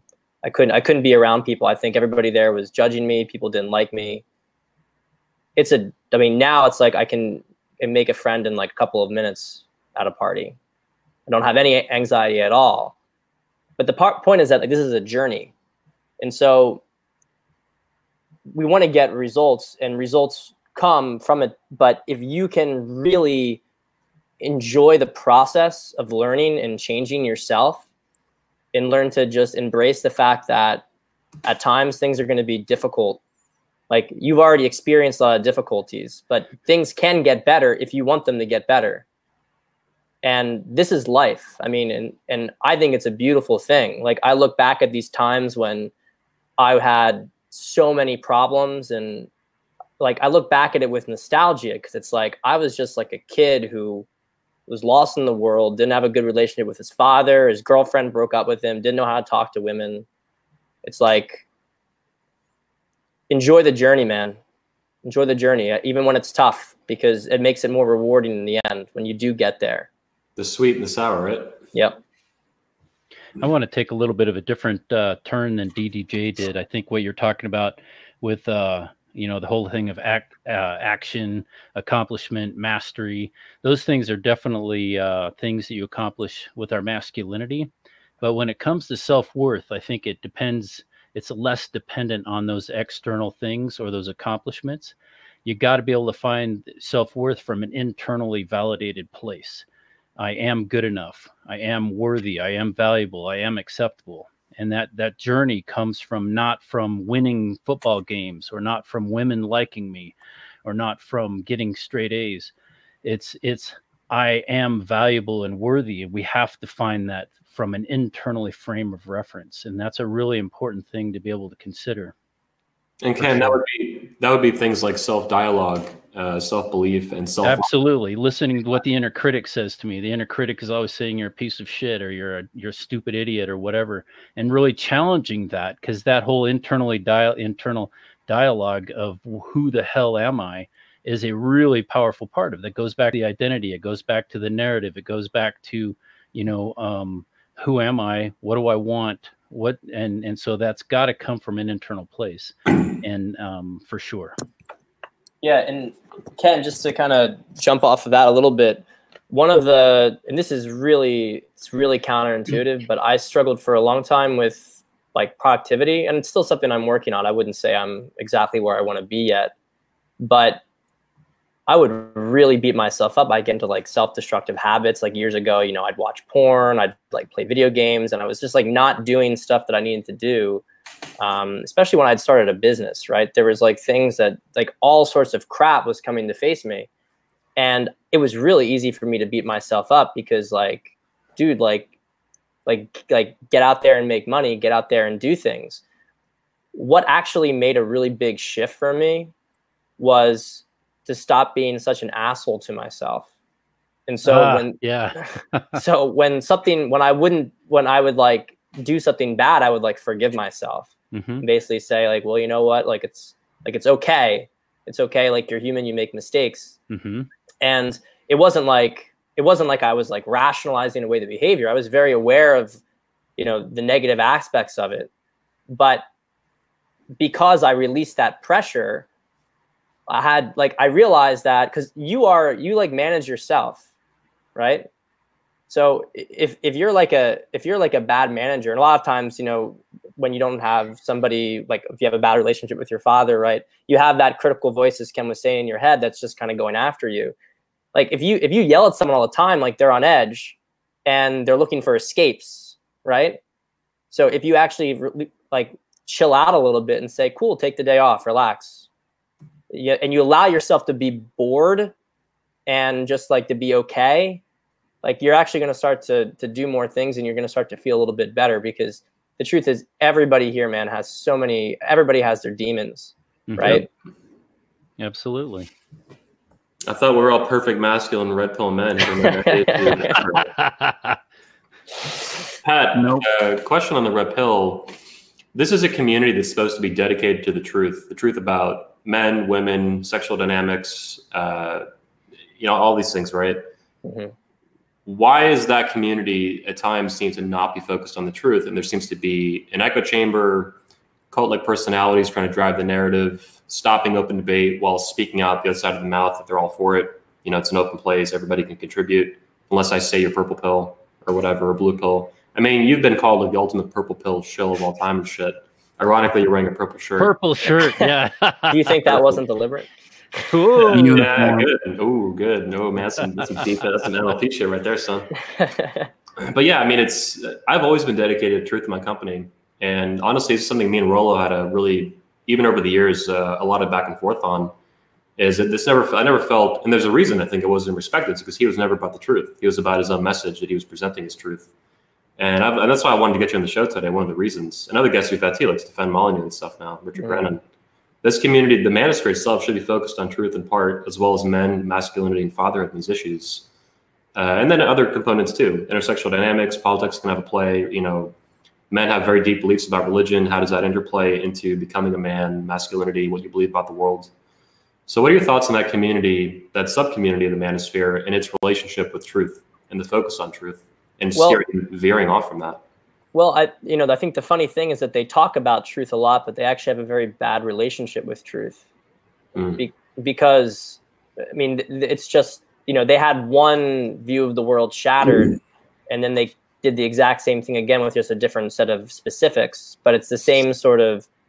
It's very like you know people who seek control, right? It's because they lack internal control, and and that that comes with ideas as well it's like if you feel completely uncertain about everything in life, you're going to cling on to an ideology. So the idea that like this is the way it is, and like you question it, you know, you're fucking purple pill, whatever. Like that's not a commitment to the truth because the truth is constantly. I mean, and specifically in, too, you're saying you're talking about a person being labeled purple pill, not an idea. And those, yeah. those, are two separate issues. Yeah. 100, no, 100 percent. Um, as if you have a commitment to the truth, you have a commitment to allowing your ideas to evolve mm-hmm. because there is constantly new things that you're taking in. I mean, I, I like, I'm, look, and not just said, evolve, not just evolve, but be challenged. Yeah. Yeah. I mean, things that I believed years ago are, I no longer, you know, believe it, or at least I don't believe it in the same way. i mm-hmm. I maybe understand it in a certain context differently, mm-hmm. but like it's constantly expanding. I mean, one of the things I'm doing now and this is gonna like for a lot of guys, it's it's like I, I don't know who's gonna follow me in the manosphere with it. I don't really care. It's my own journey. But like I'm get I'm exploring like energy manipulation and whatever. It's really weird esoteric stuff. But this is kind of like as I keep peeling back layers, I keep finding more and more stuff. And I'm like, well, I'm curious about this. Let me see how does this work? Mm-hmm. Right. And so, you know, I don't know where it's gonna take me, but my commitment to the truth, at least my truth, is that I'm going to keep exploring and to keep being curious. And I think if you stop being curious, you're fucked. Well, well put. I like the uh, I like the subtlety, the subtlety of it. right. I mean, my take on it, in very very brief, is that truth should be a focus on reality itself, as best as we, as we can understand it, using our brains and cognition and emotions and all these things. And yeah, I think there's been there's always been this like very um, loosey goosey relationship with like everything on the red pill being amoral and a-religious and apolitical and all this stuff. Mm-hmm. And it's, it, it almost seems like a reality or a epistemology. Like there's not there's not a more I've, I've felt since I found it that this community has lacked a more stringent or strict respect for reason and a commitment to literally rationality Mhm. uh, and, and, a fo- and a focus on reality and not more explicit epistemological so theory of knowledge principles on these issues. And in my opinion, that's one of the reasons that separate from the trauma and like you mentioned, the breaking with reality, a former version of it that they thought the blue pill. Yeah, they don't have the it's lacking the philosophic rigor to maintain over time a focus on truth. Yeah, well, and I think that I, I think that one of those things when it comes to that though is that a lot of the people that are having those challenges, number one, and, and I don't mean any disrespect to atheists per se, but they don't have any sense of God, they don't have any sense of family, they don't have close family connections, or they've never had close family connections. They don't And have a so philosophy to guide them through life. They have nothing. Correct. So they come up with these ideas on their own, or they come up with them from primarily other YouTubers, and they don't have good, strong mentorship or people willing to challenge their ideas in their personal space. And so what ends up happening is, is that they create these echo chambers and they become more extreme. Hmm. and, and, I, and I think really that's one of the reasons that we have to keep talking because some people have asked me like well like pat why do you even bother like talking to these guys why do you even bother like dealing with this stuff and it's like well because there are a lot of guys out there who don't have like darius you know they don't have a father in their life they have all they're, they're very susceptible to things and if you just seed the ground because it's like i'm above it it's like you're not really doing people a, a service. Like every now and then, at the very least, you have to like come back and re-engage and and kind of give people at the very least an alternate perspective that they can choose on their own if they'd like to go down that path. Um, I can't even tell you how many messages I get a couple every week from people that are like, "Thank you for what you're doing. Thank you for the things that you're saying. I was really caught up in all this negative stuff, like breath of fresh air." And I'm sure a lot of you guys get the same sort of stuff. It's Yep. it's like it's a marketplace of ideas. It's a war of ideas. You see It's the war. ground. It's a war. It's a war. You know. Yeah. I posted a uh, DM I got today last night on Instagram. I posted it today up on my Twitter, and it was a guy who had been watching like me invite Stefan Molyneux to the convention, those interactions in the Red Man Group, and the interview I did yesterday. Uh, Richard Grannon, the Rollo stuff, how extreme I was. Apparently, he first considered it extreme how I responded to kicking Rollo out of all this stuff. Now he's doubling back on that. He's almost um, he's not apologizing, but he's he's a lot more understanding of why I did what I did and how intense it was and how risky it was. It was very risky. what it, what it took to do that. Yeah, and I, I really want the Manosphere to be a place where this this war of ideas is more open and more civil, and it's not tightly controlled behind the scenes and manipulated to bizarre uh, Well, directions. Yeah, we, we need to not have it be a war of ideas. What we need to have it be is a discussion and an evolution of ideas. Because, you know, only through discussion, agreement, and disagreement are we really going to distill, you know, the nuggets of wisdom from what we all bring to the table. hmm And I think that for us, it, it is a discussion. But there's, you know, it's it's one of those things that if there's certain groups that they're just going to, you know, ad hominem you out of there, and you know, well, you just there at a certain point you can't. I mean, that's what I learned. Like people have said that to me before. Like, why don't you go uh, talk?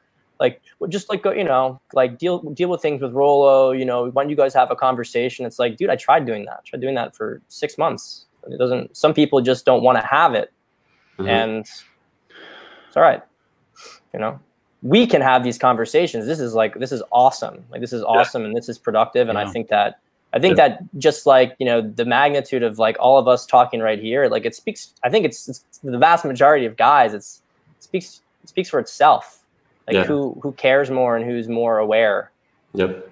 Yeah, I think that care is what drives the civility of discourse and discussion, and a lack of civility, including if it's covert and not obvious, is what drives this rage and the and the fight. Where it's a really, it gets to be really nasty, like what you had with Rollo. Mhm. There's reason, there's reasons to turn out like that. You had a much more positive, uh, I think, approach to debate and discussion. That wasn't going to fly with him, in my opinion. And that's why that's why it played out in real life like it did. Who knows how many times? Dozens, hundreds of times. You guys went back and forth. yeah i think everyone who's dealt with him has, has had the same experience Yeah, I just think that you know when we start talking about it being a war, a war of ideas, man. When I the we're- we're all in the trenches, and this is not just a war. This is a war for lives. I mean, men are committing suicide right and left. It's Yep. like uh, when it really comes down to it, you know, how are we empowering men? How are we saving their souls? How are we giving them an identity, and then setting them free to be able to be the men that they've been des- designed to be?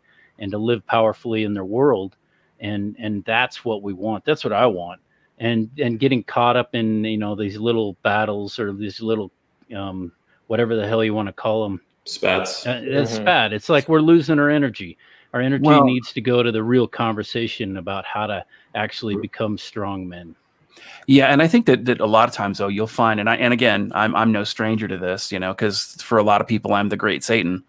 Um, For clarity, for that context, you had a made you had a major fallout about a year ago with turd flinging monkey. A yeah, I had a I've I've had a major fallout with turd flinging monkey. I had to deal with some people that were shilling a, a scam to the MGTOW community. Um, there have been other people that were doxers within the community. I mean, I've had to deal with a lot of things, and I've taken out a lot of trash. And so, as a result, there is you know there's a lot of people out there that they're like, oh my God, DDJ is the great Satan. And so I think that that at the end of the day, the reality is though is that it's not so much that these are spats is these are tantrums. You have these people that that you know they're these narcissists, these insecure people, these people who who they're not interested in internal validation, they're not interested in helping the community. They're only interested in their brand by any means necessary. Mhm. And what ends up happening is is they create these rifts purposefully to be distractions to men who are really trying to do the work. And you know, I mean, I notice even like I filed this Google lawsuit, I put out a new website, I've got a new Facebook page now, I'm doing some different things. And what's happened is is that, you know, yeah, there's a new brand of of of tantrums coming out. I'm ignoring it because it's a waste of my time. But the point is is that when it comes to these types of things, I think it's important that you know we focus on our mission we focus on our dialogue. We focus on civil disagreement where we do. And we keep moving forward because regardless you know at the end of the day you know men don't just walk outside when the sun is shining. I mean sometimes there's a storm and a blizzard and you got to go out anyway and that's Mhm. that's our job. So there it is. I can follow up on what DDJ just said too. That this year for me, well, I think as long as conflicts and conflict resolution are a minority of regular activity and content creation and discussion in any community of men, particularly the manosphere and then the subgroups, that's fine. That's normal. And I think among masculine men, that should be expected. We compete, we have conflict. Mhm, mhm. Uh, internet communication in particular, you know, things that lack facial uh, FaceTime, like literally, if there's no, if there's not Skype or a chat room like this, if it's just Twitter, it's just text. And now that lacks tone, that lacks. Uh, there's no obviously it's not a face-to-face conversation with more empathy and care and responsibility for the words coming out of your mouth. If you say the wrong thing on Twitter, no one's going to punch you in the face because they physically can't. If you say the wrong thing to someone's face in real life, they can get really angry and punch you in the face. Mhm. Um, so as long as it's a minority of what happens, and that's been my experience for 13 years of operating a business and a conference in this space, in this community, uh, 17 now that I've held around the world, five countries, and all the media content creation and internet dialogue that's happened, uh, conflict uh, that I've experienced this year is extremely unusual. Uh, by and large, every year it's just content, content, content, content, message, message, message, mission, Mhm. mission, mission, mission. So I think inevitably it was going to happen at this scale, and I think that's that you know was inevitable and would have happened sooner or later anyway. And then I think it won't happen again for a long time. Yeah. But given how old I am at 31 and what I'm doing in this space, it'll probably happen again. I don't know when, someday, five years from now, 10 years from now, 15, who knows? So that's those are my thoughts on it. And I do think conflict resolution is important when it's not just some bullshit spat of personalities. Mhm. But th- that there's real difficulties, not the difficulties, but uh, real shady shit, real Machiavellian or malevolent, malevolent behavior specifically. Not even Machiavellian, yeah, but malevolent, or there's something really wrong going on. And I think that's what was happening to the manosphere. Mhm. I think that was one of the reasons Mike Cernovich dropped out. And, you know, he said the manosphere was like a digital ghetto, an Yeah. internet ghetto. I don't blame him for saying that. Um, he's been, you know, he's been, he's been not a speaker at a conference, but he's attended recently at the Patriarch Edition. And he was actually very surprised and impressed with what he saw, not just with our event, you know, thanks, but specifically like this community of men gathering. He hadn't seen that before come out of the space. And that's where I want this whole community to go is this positive, healthy discourse uh, where, you know, most of the time it's just positive, good shit. And then sometimes we fight and we work it out. Well, I think I think any movement in the beginning it starts off with kind of noticing problems and identifying problems and mm-hmm. bringing more awareness to them. But at a certain stage, you have to propose solutions. Yeah. How dare you? and we're Well- at that we're at that point now. Yeah, no doubt, no doubt. Yeah. No, I just Yeah. want to talk about theory all day and endlessly circle jerk the blog post. Right. well, just make sure you use European grip. What is your? I don't even. Want, do I even want to know? I don't want to know. I don't want to know what that means. Oh God. Well, well, if it's French grip, it's another dude. So Oh, well, guys, we're getting uh, pretty close to the two-hour mark here. Uh, Pat, you know, Ken, you're new to the show. I appreciate you coming on today. Mhm. Pat, you're the special guest and the focus of today. Do you have any uh, closing thoughts, uh, ideas, criticisms of the red pill, your relationship to it with your work? Uh, anything you want to get out? Um, well, I'd say a lot of gratitude because for all the sort of beef I've had, I Mm. wouldn't I wouldn't be where I am without it. Okay. Um, You know, honestly, Rollo gave me a lot of attention, Mhm. so definitely I, I owe my success to Rollo in a certain certain degree. Um, would have been a little bit longer going, so That's pretty funny. it is kind of funny when you think about it. Um, no, but I, but I am really appreciative of the space in general. I mean, for all the sort of you know drama and whatnot, made some really good friends from there. Met a lot of really high integrity men, a lot of really smart men, um, men who you know like you, Anthony, people who are going to be changing the world. Like you know, you're already doing it with 21 Convention.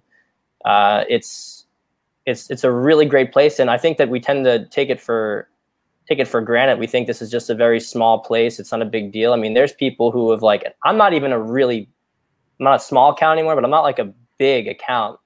And I've had like clients talking to like an Uber driver and he's talking about, you know, my work and people are really familiar with the community. Like there is a really big, like it's, it's going out. Like it's, it's, it, we, we are the cafe culture of the, of the 21st century Hmm. and all the ideas that like like those ideas changed Europe with the Enlightenment and whatnot. They start off by people like having coffee and wine and and drinking in like dark corners of you know alleys and whatnot. It's the same stuff that's going on right now, and I think we should all be very proud to be part of it.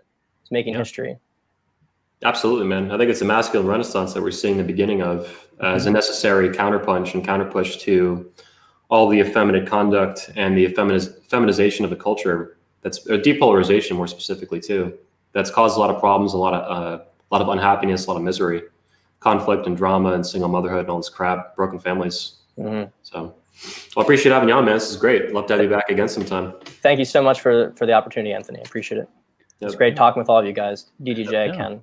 Absolutely, Pat. It's awesome. thank you, you guys too. And uh, next time, Steve, don't talk so much. Stephen chilling. Steve. I'm just chill. I, I, I, Yep. I, I don't know. I don't know or understand everything he's saying, so I'm just listening. man. listening. Oh, come on now. He's smarter than he. He's smarter than he lets on. A lot smarter. Yeah. Oh, I, I don't I don't recognize what he's saying, so I, I can't talk about something I. So I just, I just listen. Yeah. All right, guys. I'm going to wind down the show. Everybody, thank you for your time today watching, as well as to you know being on the panel. Uh, Ken Curry, Pat Stedman, Steve the Dean Williams, DDJ. Links to all their websites and stuff will be in the description underneath this video. Most of them already are, but I'll update it with more after the show. We'll see you guys next week at 11 a.m. Uh, sharp Eastern Time on Saturday, and you can tune in to the Patriarch Show most Thursdays at 8 p.m. Eastern Thursday night on the Red Man Group channel. See you guys later. Peace out.